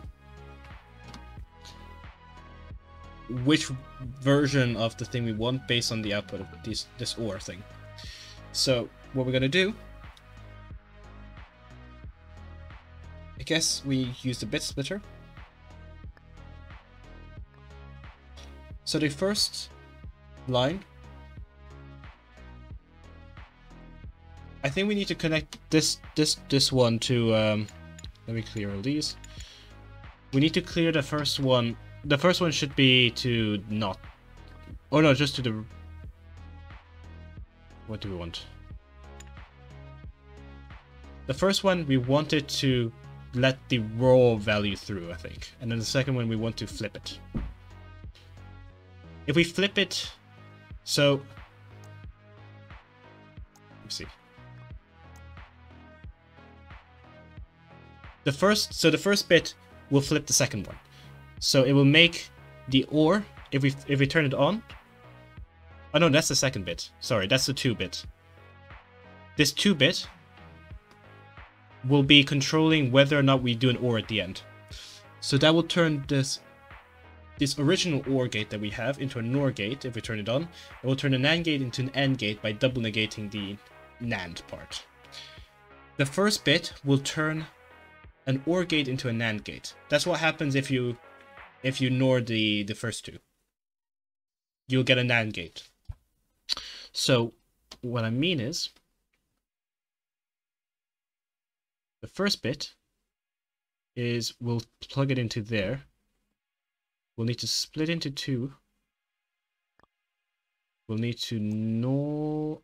Is there a way? There, there has to be a way of rotating it. Is it R? There's no way that's annoying. Um, okay. So this one will let the first value in. If it's uh, if it's off, which is exactly what we want, and then this one we want to flip. Okay, so this if we hang on code, there we go. So yeah, this will flip the, the first part.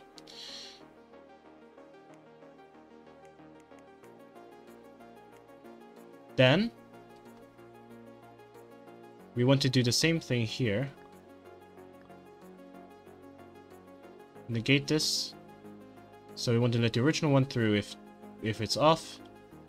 And we want to let the flipped version through if it's on. Okay, like this. This circuit should work. There's not a good way to demonstrate this, but I guess... Um, yeah, so currently it's on OR. So you'll see if I put the same symbol on, it won't change, but if we add a new symbol, let's say the 4, the 4 wasn't there originally, so now it's added. And we've basically ORed these two numbers. If we then change it to uh, let's say NAND. Okay, let's say AND. So now the only bits that are together is the ones. Yeah, exactly like that. So we will only get the ones.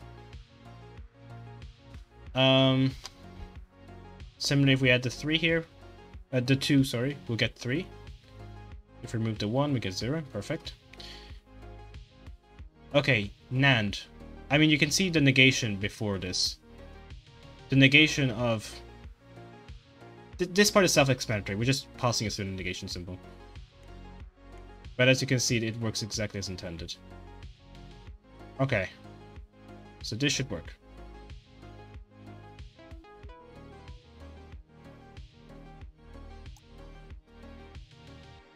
Okay, can you fit four bits of memory, or bytes of memory in this limited space? In this level, you have to build a circuit that can save or load from four different bytes of memory. You're given one bit that determines if you are able to load, another bit determines if you're to save, and it will come with a corresponding value. Additionally, you have two address bits. With two bits, there are four combinations, one for each byte of memory in this level. The output has an enable pin, enable it only on load. Oh, okay, and we have a, this amount of memory.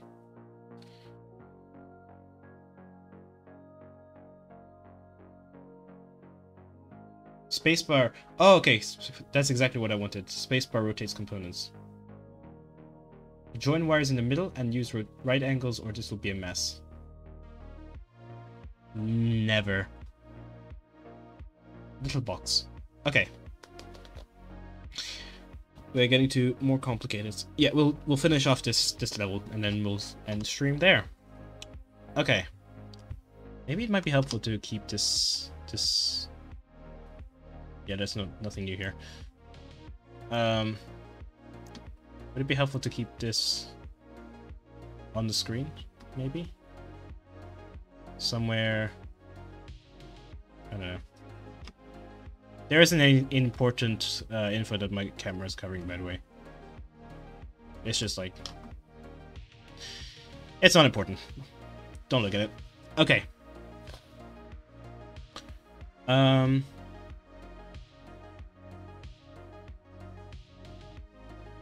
I think the first thing we need is... Can we move these? We can. Let's, let's just move this up. Or what we can do...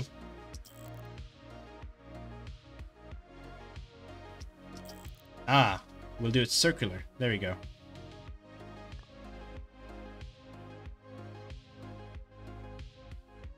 So we do a circle.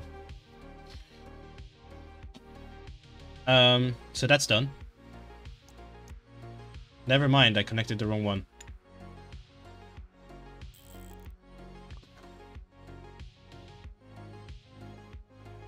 That's fine. Circle. As I said, circular.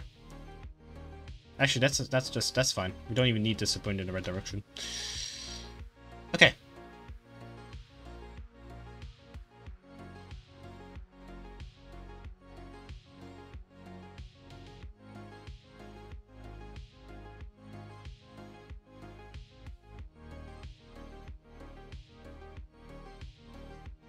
Gotcha. Um, we should have 8-bit memories, right?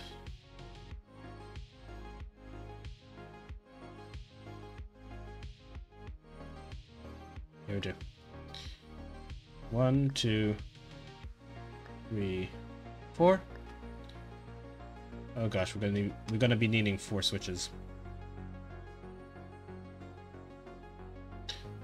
Uh, or do we? Well, we don't need to. No need. Okay, we just... All we're doing is we're just connecting all of these together. One giant line.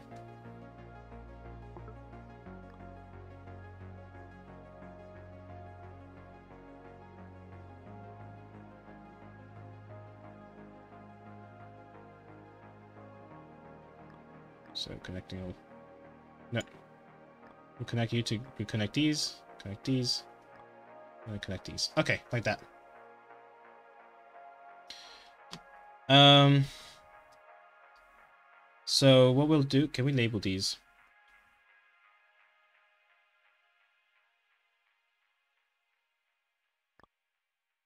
I guess we could. No, I don't care. I don't care enough.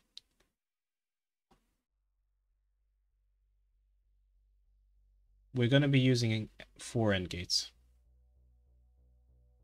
One, two, three, Uh, which corresponds to each... Let me move this down a bit. That corresponds to each of the possible states. So we connect like this. Um, this thing, we need to connect it to every... Wait, actually, is that the safe component?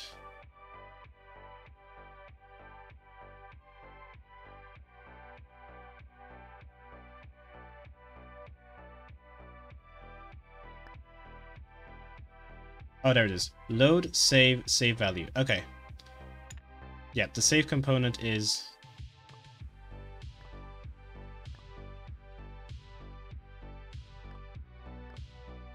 Wait, we only want the correct one to save, right?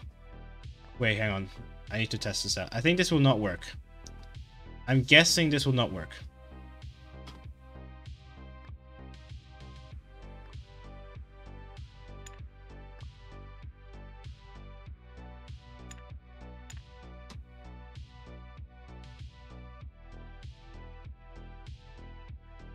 Um, we'll do we'll do A0, A1, B0, B1. Can I, actually I should label these, just so I don't lose track things.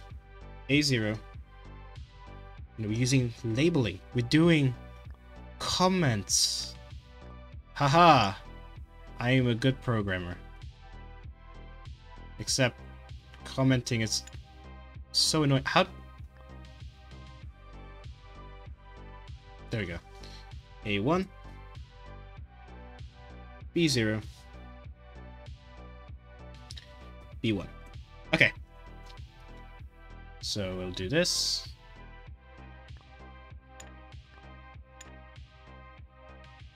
So we need to put a negation there, negation there, negation there, negation there. Is it, or do we need to flip them over? Almost certainly we have to flip them over, actually. Um... Yes, we do. That's okay. That's okay. Easy enough to remember.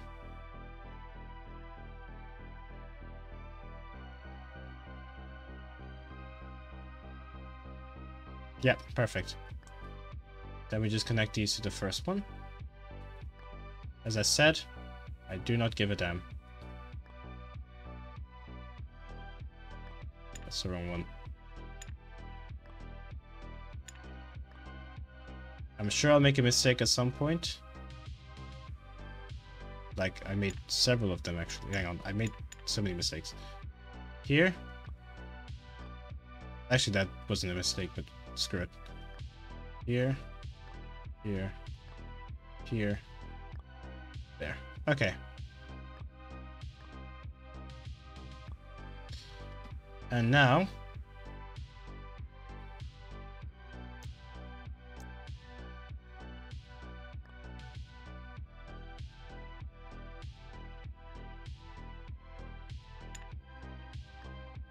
Hmm, I did...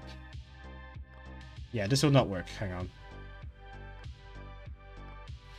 The saves I also need to... Um, Gatekeep.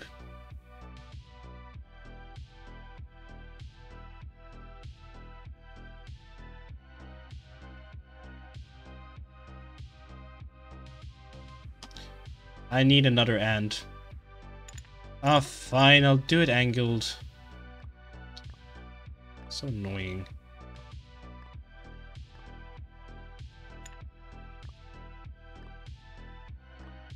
There, you're happy?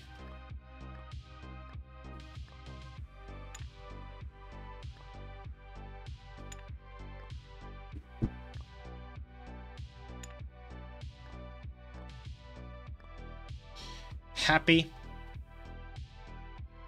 I need more space, though.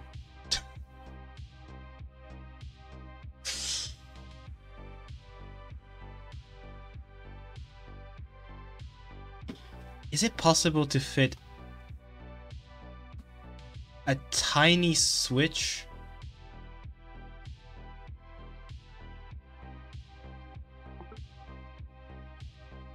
Maybe.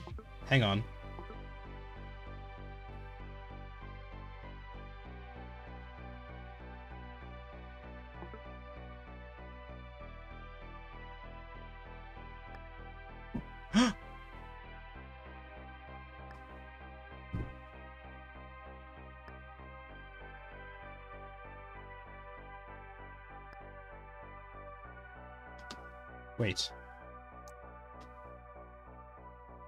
It's off? It's on? Oh, wonderful. Wonderful! Okay.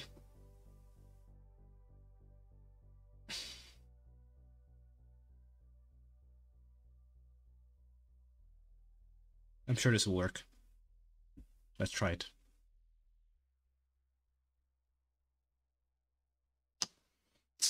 Yes! In, a, in our advanced civilization, forcing prisoners to do extremely menial tasks, slavery, and is technically illegal. That is why we instead had our intern create the 256 byte version of your component.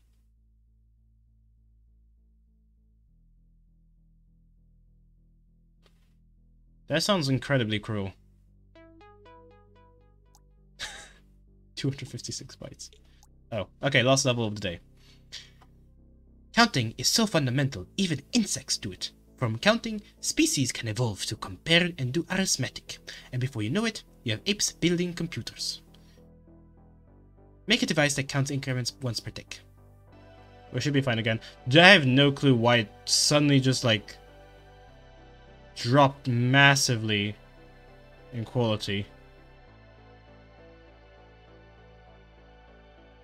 It's always like near the, the half an hour mark. Like one and a half or two and a half mark. This thing starts to go bad. Okay, whatever. We have one more problem. And that'll be that. Build a counter that will increase by 1 each tick. Additionally, there should be an option for overwriting the counter with a given value. You're given two inputs, a bit and a byte. The bit input should toggle between counting and overwriting with the value of the byte.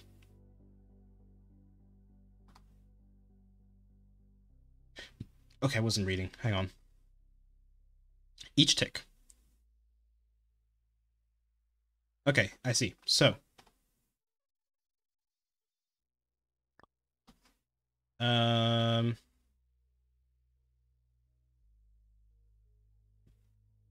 Hmm.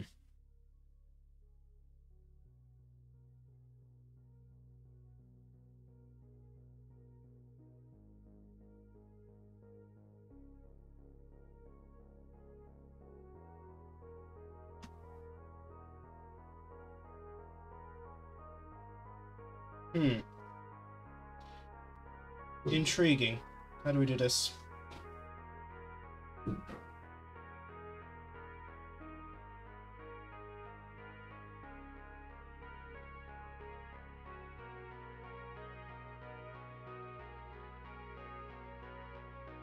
Okay. My... Oh, is there...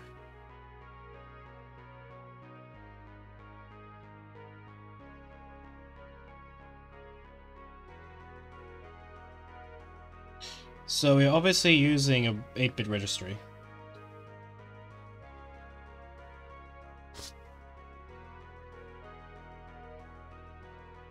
Okay, they're generally being incredibly loud outside.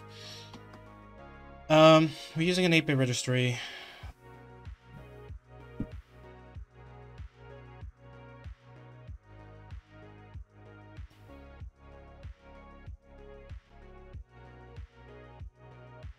Because they, they should... Wait, are we allowed to make a circular dependency for this?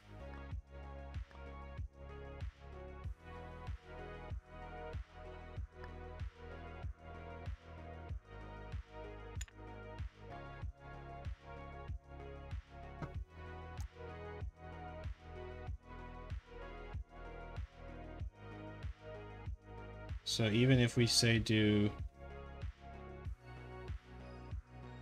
Oh, we're not giving the not. Okay, let's say we're giving the add.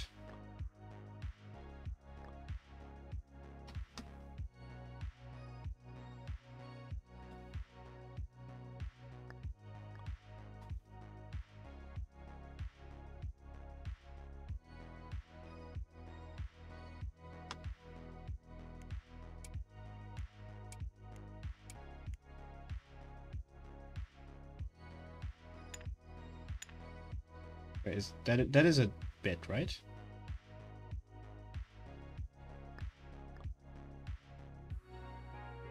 Uh, wrong, wrong one. That one. Okay.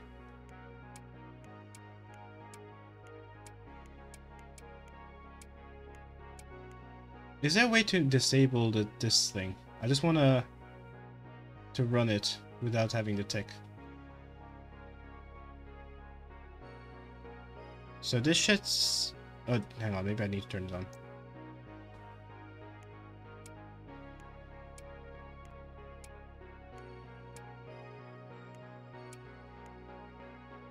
Yeah, it's not allowing me to... I have to actually build it properly. The only... I'm just going to assume it, it delays inputs by one. Although I don't think it, the actual implementation does.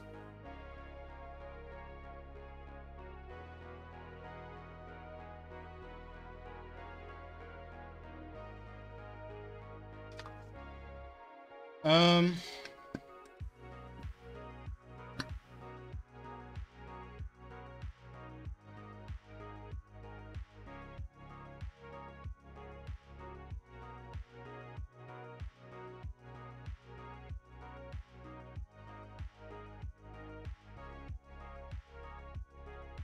I don't know.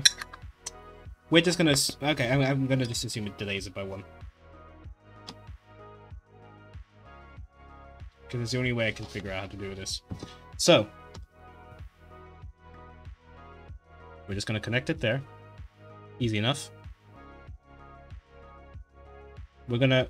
Actually, why did I delete that circuit? I did exactly what I wanted to, to do. Add.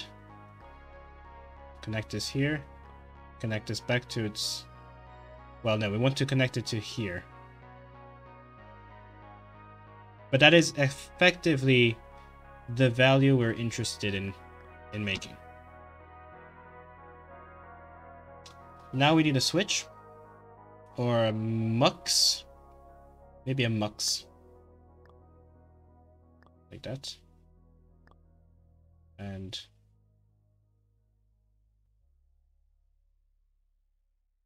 Like that? Okay, what, what do these things do, by the way? Uh, I think we want to permanently set both of these on.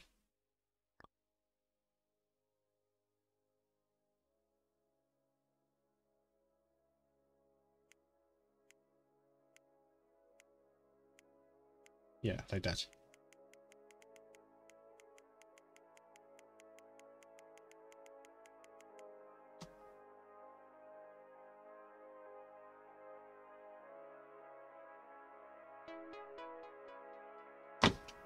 Cool.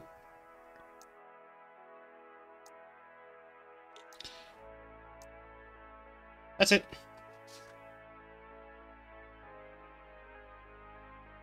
Okay. I think we've done enough. So, we have covered the classic, the, the fundamentals of how to build computer circuits, logic circuits, using gates. Honestly, I'm having a lot of fun. It could just be because I'm a nerd, but this stuff is super interesting to learn the ins and outs of how a computer works. And honestly, I think they, they progress. Uh, there isn't a lot of, like, I guess they do give you, like, practice examples for a lot of these. Maybe the game might benefit by giving a, a few more practice on the side like not as part of this core branch. It would make sense to have like a core branch of like this is like the stuff you need to advance to the next level, but here are some extra examples that you can do to kind of just get a firmer grasp on um, how these logic gates actually work and how to actually build logic circuits. But I think overall, this game does a pretty good job at getting you to understand like how how these things actually work. And also I like how they give you these um these these little tidbits on how to actually how these things actually work in the real life. Because it because it seems like this is a kind of a simulation thing where these uh, these things won't actually like exist these are not like these are not how these components work in real life. So I like how they do tie it in. I give you like context. But yeah, I think overall so far I'm having fun. Um, I like learning, and you should too. Uh, but yeah, this is all. It's gonna get. It's only gonna get harder from here on out. So